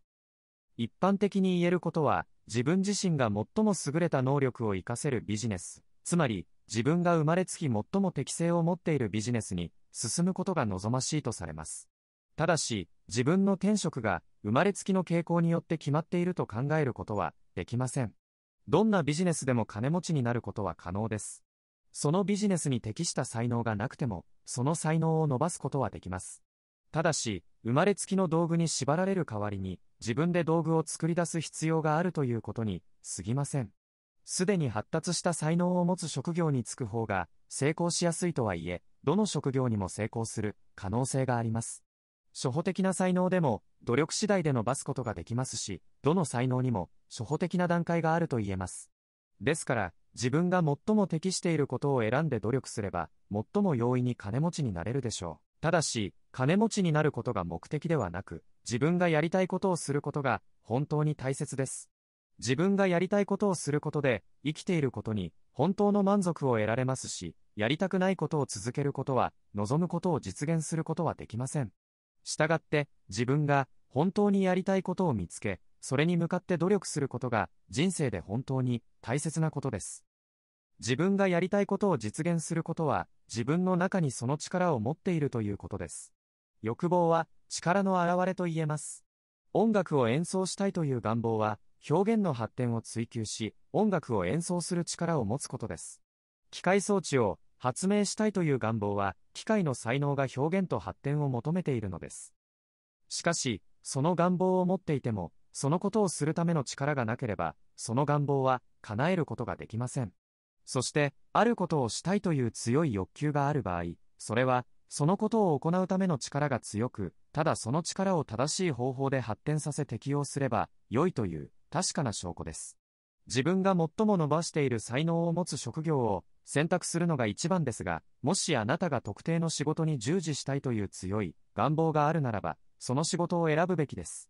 あなたは自分がしたいことをすることができ、最もしっくりきて楽しいと感じるビジネスや職業に就くことはあなたの権利であり、特権です。やりたくないことをやる義務はなく、やりたいことをやるための手段以外にはやるべきではありません。過去の過ちの結果、望ましくないビジネスや環境に置かれたことがある場合、しばらくの間やりたくないことをする義務が生じることがあります。しかし、それがやりたいことを実現するための手段であることを知り、それを喜びに変えることができます。自分が適切な位置にいないと感じた場合、急いで他のことを始めることはせず、まずは成長することが最優先です。機会が訪れたら、慎重に検討した上で、適切な機会と判断した場合にのみ実行すべきです。ただし、その決断を疑うようなら、急いで過激な行動を取るべきではありません。想像においては、急がずにじっくりと取り組みましょう。機会は必ず訪れますので、焦らずに待つことが大切です。競争心から解放されると、焦る必要がないことが理解できるでしょう。自分が望むことに関して、他の誰にも負ける必要はありません。すべての人のために、十分な場所があります。一つの場所が埋まったとしても、より、良い場所が必ず現れます。時間には十分な余裕があります。悩んでいる時は静かに立ち止まり、自分のビジョンに戻りましょう。信念と目的を強く持ち、疑いやためらいを感じた時には、必ず感謝の気持ちを抱いてください。自分が望むビジョンを深く考え、真剣な意志を持って手に入れようとすることで、心と思考の密接な関係を築けます。すべてを知る心を持ち、深い感謝の気持ちを持つことで、信念と目的によって人生を前進するために心を一体化できます。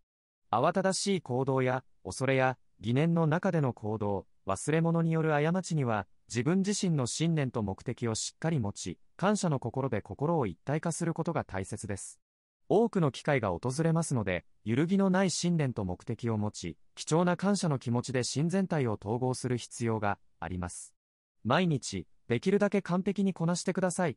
ただし、焦る必要はありません。急いで始める瞬間に、自分が競争者になっていることを忘れ、創造者であることを忘れてしまうかもしれません。その結果、古い水準に戻ってしまうかもしれません。自分が急いでいることに気づいたら、自分自身を止めて、方向修正を行い、まだ手に入れていないものを自分自身に与えてください。感謝のトレーニングは、必ずあなたの信念を強化し、新しい目標を設定するのに役立ちます。第14章繁栄の印象。転職を変えようと変えまいと、当面のあなたの行動は、今従事している仕事に関係している必要があります。現在の仕事を建設的に活用し、毎日の仕事を確実な方法でこなすことで、望む事業に参入することができます。そして、あなたのビジネスが手紙であろうと直接的なものであろうと、他の人との取引から成り立っている場合、相手に繁栄の印象を与えることが非常に重要です。繁栄とは、すべての人が求めるものであり、内にある、形のない知性の衝動から生まれるものです。繁栄への欲求は、自然界に内在するすべてのものの基本的な衝動です。人間のあらゆる活動は繁栄への欲求に基づいています。人々はより多くの食べ物や服や住まい、贅沢や美や知識、喜びや生活におけるより多くの何かしらの繁栄を求めます。あらゆる生き物はこの継続的な進歩、または生存の繁栄を必要としています。失望や死は同時に始まります。人間は本能的に永遠にもっと多くを求めてしまうことを知っています。この永遠の繁栄の法則は、イエスの才能の偶話で説明されています。持っていない人からより多くを得て保持する人は、連れて行かれるべきです。自分が持っているものでさえも、取り除くべきです。増えた富に対する通常の欲望は、悪ではなく非難されるべきものでもありません。それは、単なる豊かな生活を望む願望に過ぎず、憧れにもなります。そして、人々は自分たちの生活の質を向上させるために、より多くの収入を持つ人に魅力を感じるのは、本質的な深い本能から来るものです。前述のページに記載された確実な方法に従うことで、あなたは自分自身に継続的な繁栄をもたらすだけでなく、関わるすべての人にもそれを提供できるのです。あなたは創造的な中心人物であり、すべての人々に繁栄をもたらす存在となっています。自信を持って触れ合うすべての男性、女性、子供たちに訴えかけましょう。例えば、棒状のキャンディーを売るだけの取引でも、繁栄を考え、顧客がその思いに共感できるようにしましょう。すべてのことは前進しているという印象を与えることが重要です。こうすることで、あなたが前進する人であるという印象を周囲のすべての人に与えることができます。そして、社交的な場でも、何の目的もない人との会話でも、何かを売り込もうとする必要はありません。ただ、自分が興味を持っていることを伝え、繁栄への不動の信念を持ち、その信念に触発され、充実した行動をとることで、周囲の人々に前進する印象を与えることができます。自分自身が人格を高めるだけでなく、周りのすべての人々を前進させることを確固たる信念で持ち、あらゆることに取り組みましょう。自分が豊かになり、他人も豊かにし、すべての人々に利益をもたらすことを感じましょう。自分の成功を誇示したり自慢したりする必要はございません。真の信念は自慢するものではございません。自慢げな方は隠れた不安や恐れを抱いていることがございます。代わりに信念を強く感じ、あらゆる取引にその信念を反映させるように心がけましょう。自分が豊かであるという静かな確信を言葉ではなく、すべての行為、口調、視線から表現することが大切でございます。この感覚は、言葉では伝えることはできませんが、皆様の存在から繁栄を感じることができ、再び皆様に魅了されることでしょう。さらに、他の方々が皆様と関わることで、彼ら自身が繁栄すると感じるように、印象づける必要がございます。お客様には、現金価値以上の使用価値を提供し、お客様不足のないビジネスを確立することが大切でございます。皆様が実践することで、周囲の方々は皆様に興味を持ち、皆様のビジネスは拡大していくことでしょう。人々は常に新しいことに興味を持ち、皆様のビジネスを知らない方々にもアピールする必要がございます。そうすれば、皆様のビジネスは急成長することになり、予想外の恩恵を受けることができることでしょう。そして、より多くの方々と協力し、より多くの利益を得ることができ、皆様自身の夢を実現するために、皆様に合った職業を見つけることができるようになることでしょう。しかしながら、これらすべてにおいて、皆様が手に入れたいものを実現するためのビジョンと信念を決して見失ってはいけません。また、動機についても注意が必要です。他者を支配する権力に執着する心を持たないようにしてください。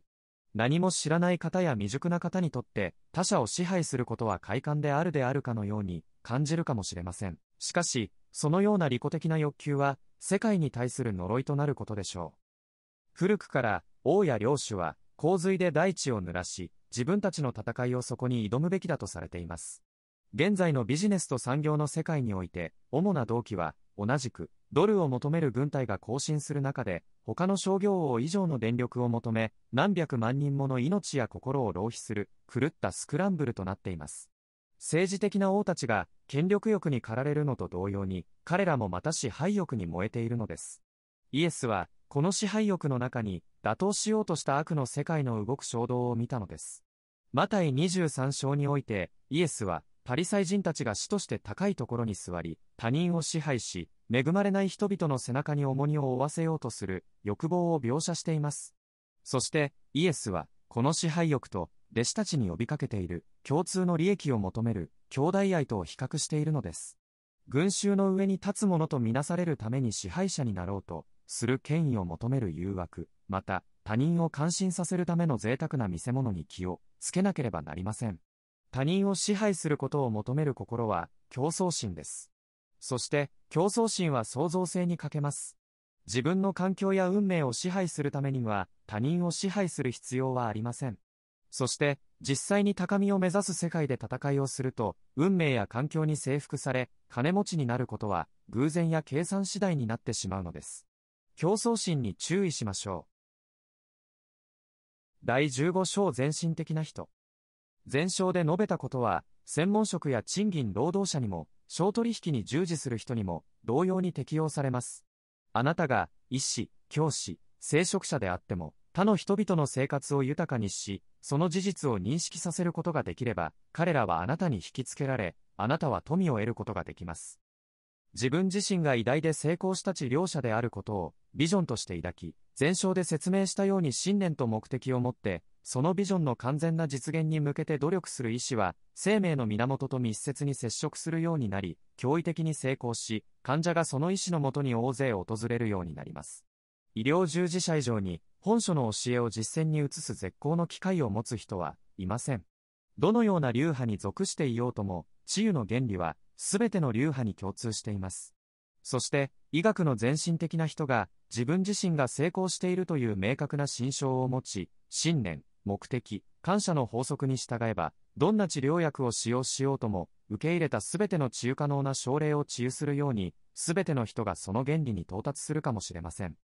また、宗教の分野においては、魔に、豊かな人生を説くことのできる聖職者が、世界的に求められています。金持ちになるための科学の詳細と、元気であること、偉大であること、愛することの生命科学を極め、これらを説教団から伝える人は、決して信徒を書くことはありません。それこそが、世界が必要としている教義であり、人々の生活に豊かさをもたらします。そして、人々はそれを喜んで聞き、説教団から生命科学の実践として今必要とされているものをもたらす人に惜しみない支援を与えます。私たちは、どのようにすればよいかを教えてくれるだけでなく、自分自身がどんな人間なのかを示してくれる指導者が必要です。私たちは、自分自身が豊かであり、健康的であり、偉大であり、そして愛されている指導者から、これらのものを得る方法を教えてもらう必要があります。指導者が訪れると、多くの忠実な支持者が集まります。同様に、全身的な人生の信念や目的によって、子供たちを鼓舞する教師にも言えます。信念と目的を持つ教師は、生徒たちに、それを与えることができ、そのため職を失うことはありません。もしそれが彼自身の人生実践の一部であるならば、それを与えずにはいられません。このことは、弁護士や歯医者、不動産屋、保険屋など、誰にでも当てはまります。ただし、精神的、個人的な行動を組み合わせた行為こそが完璧であると言えます。以上の指示を忍耐ずよく正確に守る人々こそが符号となります。重力の法則のように数学的に確実です。金持ちになることは精密な科学です。賃金労働者も同様に自分にも当てはまることに気づくでしょう。金持ちになるチャンスがないと諦めないでください。人々は前進するための目に見える機会がなく、低い賃金や高い生活費の状況で働いています。自分が望むものを明確に心に描き、信念と目的を持って行動しましょう。毎日行えるすべての作業を行い、仕事の各部分を完全に成功に導く方法を行いましょう。成功の力と金持ちになる目的をあなたのすべての行為に注ぎ込むべきです。ただ、雇い主や上司に取り入るためだけに良い仕事をすることは避けなければなりません。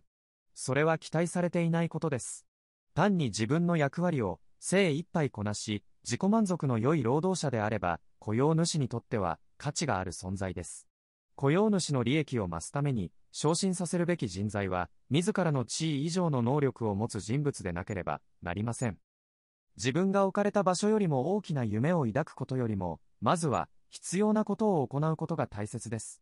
昇進を確実なものにするのは、自分の居場所に対して過剰な期待を持たず、自分が何を成し遂げたいかという明確なビジョンを持っており、自分がなりたい姿に到達するための決意がある人です。現在の仕事以上の努力をするのは、雇用主を喜ばせるためではなく、自己成長のために取り組むのです。勤務中、勤務後、勤務前にも、繁栄への信念と目的を持ち、上司や同僚など、関わるすべての人々にそのエネルギーを放出しましょう。そうすることで、周りの人々から進歩と繁栄のエネルギーを感じられます。また、男性からも魅力的に移り、現在の職場で昇進の見込みがなくても、すぐに別の職場でチャンスをつかむことができます。法則に従順に動く、全身的な人になる機会を常に提示する力があります。確実な方法で行動すれば、神様は必ずあなたを助けてくださいます。自分自身を助けるためにも行動する必要があります。あなたの状況や産業界の状況があなたを押さえつけることはありません。鉄鋼工社で働いても金持ちになれなくても、10エーカーの農場で金持ちになることができます。そして、確実な方法で行動し始めれば、鉄鋼トラストの支配から逃れ、どこでも望む場所に行くことができるでしょう。数千人の従業員が、このような行動をとれば、鉄鋼トラストは窮地に追い込まれます。労働者に対して機会を与えるか、廃業するかの選択を迫られるでしょう。労働者を見込みのない状況に置くとラストの下で働く必要はありません。もし無知であり、金持ちになるための科学を知らず、知的に怠惰で、それを実践できないような人間である場合でも、このように考え行動し始めましょう。あなたの信念と目的は、あなたの状態を改善するための、あらゆる機会を見つけるために、あなたを導いてくれます。そのような機会は、なりたいものになるためのチャンスを待つことなく、あなたのために働く思考のものに向かって、あっという間に訪れます。自分自身よりも高い地位を目指す機会が提示され、それに向かって動くことが、より大きな機会への第一歩となります。この宇宙においては、前進する人生を送る人にとって、機械の欠如などありえないことなのです。すべてのものは、人のためにあり、人の利益のために共に働くというのが、宇宙の法則に内在しています。確実な方法で行動し、考えるのであれば、その人は必ず豊かになることができます。ですから、賃金労働者の方々は、この本を注意深く勉強し、本が示す行動指針を実践的に取り入れることが大切です。第16章注意と結論。多くの方々は、富の供給は限られているという印象を持ち、富を得るための正確な科学が存在するという考えを嘲笑することがあります。社会制度や政府制度を変えなければ、多くの人々が能力を獲得できるようになることは、ないと主張する方もいらっしゃるかもしれませんが、これは真実ではありません。既存の政府が貧困の中で混乱を続けているのは事実ですが、それは大衆が確実な方法で考え、行動していないからです。もし大衆が本書で提案されているように前進し始めたら、政府も産業システムもそれをチェックすることはできません。すべての制度は前進に対応するように修正されなければなりません。もし人々が前進する心を持っているならば、自分たちは富豪になれるという信念を持ち、富豪になるという固定した目的を持って前進することが必要です。誰も彼らを貧困の中に閉じ込めることはできません。個人はいつでもどんな政府の下でも、この確かな道に入り、自らを豊かにすることができます。そして、どのような政府の下でも、多くの人々がそうすれば、彼らはシステムを変えることができるでしょう。他の人たちのために道を開くように、彼らは制度を改正させることができます。競争的な分野で金持ちになる人が多ければ、多いほど、他の人々にとっては不利になり、創造的な分野で金持ちになる人が多ければ、多いほど、他の人々にとっては有利になるでしょう。大衆の経済的救済は、多くの人々が本書で示された科学的方法を実践し、金持ちになることによってのみ達成できます。ここには、人々が他者に道を示し、目的を持ち、真の人生への欲求を引き出すものがあります。しかし、住んでいる政府や資本主義的、競争的な産業システムが金持ちになることを阻止することはできないことを知っていれば十分です。創造的な思考に入ると、これらの問題を超え、市民の候補者として出ることができます。しかし、主張を形成するときに、思考は限られた供給や、道徳的レベルに注意を払わなければなりません。古い考え方に陥った場合、すぐに修正する必要があります。また、競争心に駆られ、協調を失った場合、将来の非常事態に備える計画を立てる必要があります。今日の仕事を完璧に成功させることに集中し、明日の緊急事態には関心を持たなければなりません。しかし、ビジネスの地平線上に立ちはだかる障害に注意しすぎてはいけません。科学的な方法で富を得るために進む人々は負けません。法則を守って富を得ることができなかった人は存在しません。この世界には2を2倍して4にする方法があり、進むべき道があるのです。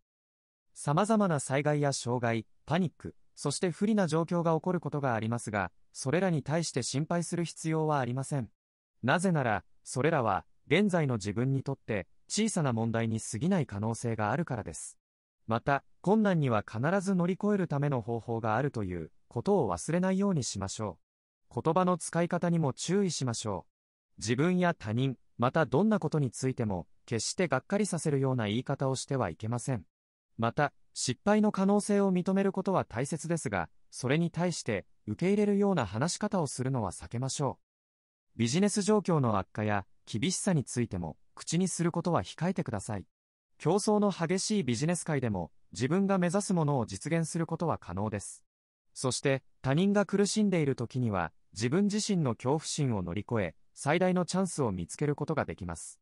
自分自身を訓練し、まだ開発されていない可能性を見出し、常に前向きな言葉を使いましょう。そうしないと、自分自身の信念を失ってしまう可能性があります。失望したとしても、自分自身を責めたりしないでください。人生には、手に入れたいものがあっても手に入れられないことがあるかもしれません。それは、別の形での成功のための失敗になるかもしれません。信念を微調整することで、失敗を成功に変える方法を見つけることができます。もし、あなたが気づかなかった場合でも、一見失敗に見えたことが、実は、大成功であったことに気づくことができます。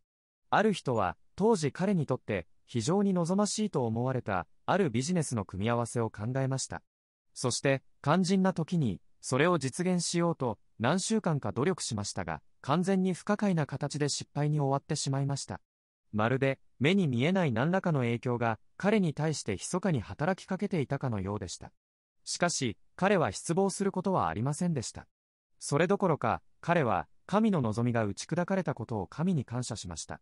そして、数週間後に、感謝の心で着実に進んでいくうちに、より良い機会が訪れたため、最初の取引を行わなかったことが幸いであったと思いました。彼は、自分が知っている以上のことを知ることができたことに感謝しました。自分が絡ませた小さなものにとらわれず、すべての失敗は成功につながる方法であることを知ったのです。信念を持ち、目的を持ち、感謝の気持ちを持ち、毎日、その日にできることを全力で行い、一つ一つの行動を成功につなげましょう。失敗するのは、求めているものが足りないからです。私が指示した通りに進めば、仕事をするために必要な才能はすべて開花します。才能を育てる科学については、この本の範囲では説明できませんが、それは金持ちになるための過程と同じくらい確実で、簡単なことです。しかし、あなたがある、特定の場所に来た時に、右に進む能力が不足して失敗することを恐れたり、躊躇したり、放棄しないでください。その場所に来た、あなたには、その能力が授けられています。リンカーンのように、学んでいなくても政府において、最大の仕事を成し遂げる能力は、あなたにも備わっていると言えます。自分が果たすべき責任を果たすためには、知恵をフル活用することが必要です。この本に書かれた考え方を熟知し、その教えを日々実践することが大切です。また、信仰心を持ち、娯楽や快楽にふけることなく、教えに反する場所や、悲観的な文献や対立する文献に触れたり、議論に加わることは避けるべきです。余暇の時間を感謝の気持ちを持って過ごすのではなく、自分自身のビジョンを深く考えることが大切です。この本には、金持ちになるための科学がすべて含まれており、次の章ではその要点が要約されているので、必読です。17章お金持ちになる科学のまとめ。思考を用いて万物が創造される際に使われる物質は、そのまま宇宙に満ち、広がっています。物質の中の思考によって創造されたものが生み出されます。人間は思考の中で物事を形成し、形のない物質に自分の思考を刻み込むことで、自分が考えた物事を想像することができます。このためには、人間は競争心から創造心へ移行する必要があります。そうしないと、常に創造的であり、競争的でない、形のない知性と調和することはできません。人間は授かった祝福に対して感謝し、誠実に心に抱くことで、形のない物質と完全に調和することができるかもしれません。この態度により、物質の知性と人間の心が一体化し、人間の思考が型のない物質に受け入れられます。人間は、深く継続的な感謝の念を通じて、形のない知性と自己を一体化することによってのみ、創造的な領域にとどまることができます。また、自分が実現したいことやなりたい姿を明確に描き、すべての願いに深く感謝しながら、その心象を思考の中に保持する必要があります。金持ちになりたいと望む人は、自分に与えられた現実を真剣に感謝し、自分のビジョンについて熟考する時間を費やす必要があります。揺るぎない信念と発展的な感謝の念と、相まって、心象を頻繁に熟考することの重要性は、強調しすぎることはできません。これは、形のない物質に深く刻み込まれ、創造的な力が動き出す過程です。創造的なエネルギーは、自然な成長、産業や社会秩序の確立された経路を通じて、働きます。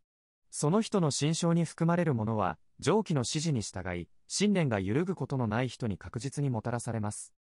人は活動的である必要があり、この活動はその人が囚われる場所を満たす以上のものでなければなりません。心象の実現のために金持ちになることを願う人は、日々自分にできることを全力で行いながら、その目的を常に心に留めることが必要です。一つ一つの行動を成功するための方法で行い、人々に与える価値が現金価値以上であることを意識しなければなりません。そうすれば、一つ一つの取引がより豊かな生活を生み出すことにつながります。また、繁栄の印象を周囲に与えるためには、向上心を持つことが大切です。これらの指示に従う人々は、必ずや金持ちになり、彼らが受け取る富は、自分たちのビジョンの明確さ、目的の固定性、信念の安定性、そして感謝の深さに比例して増えていくことでしょう。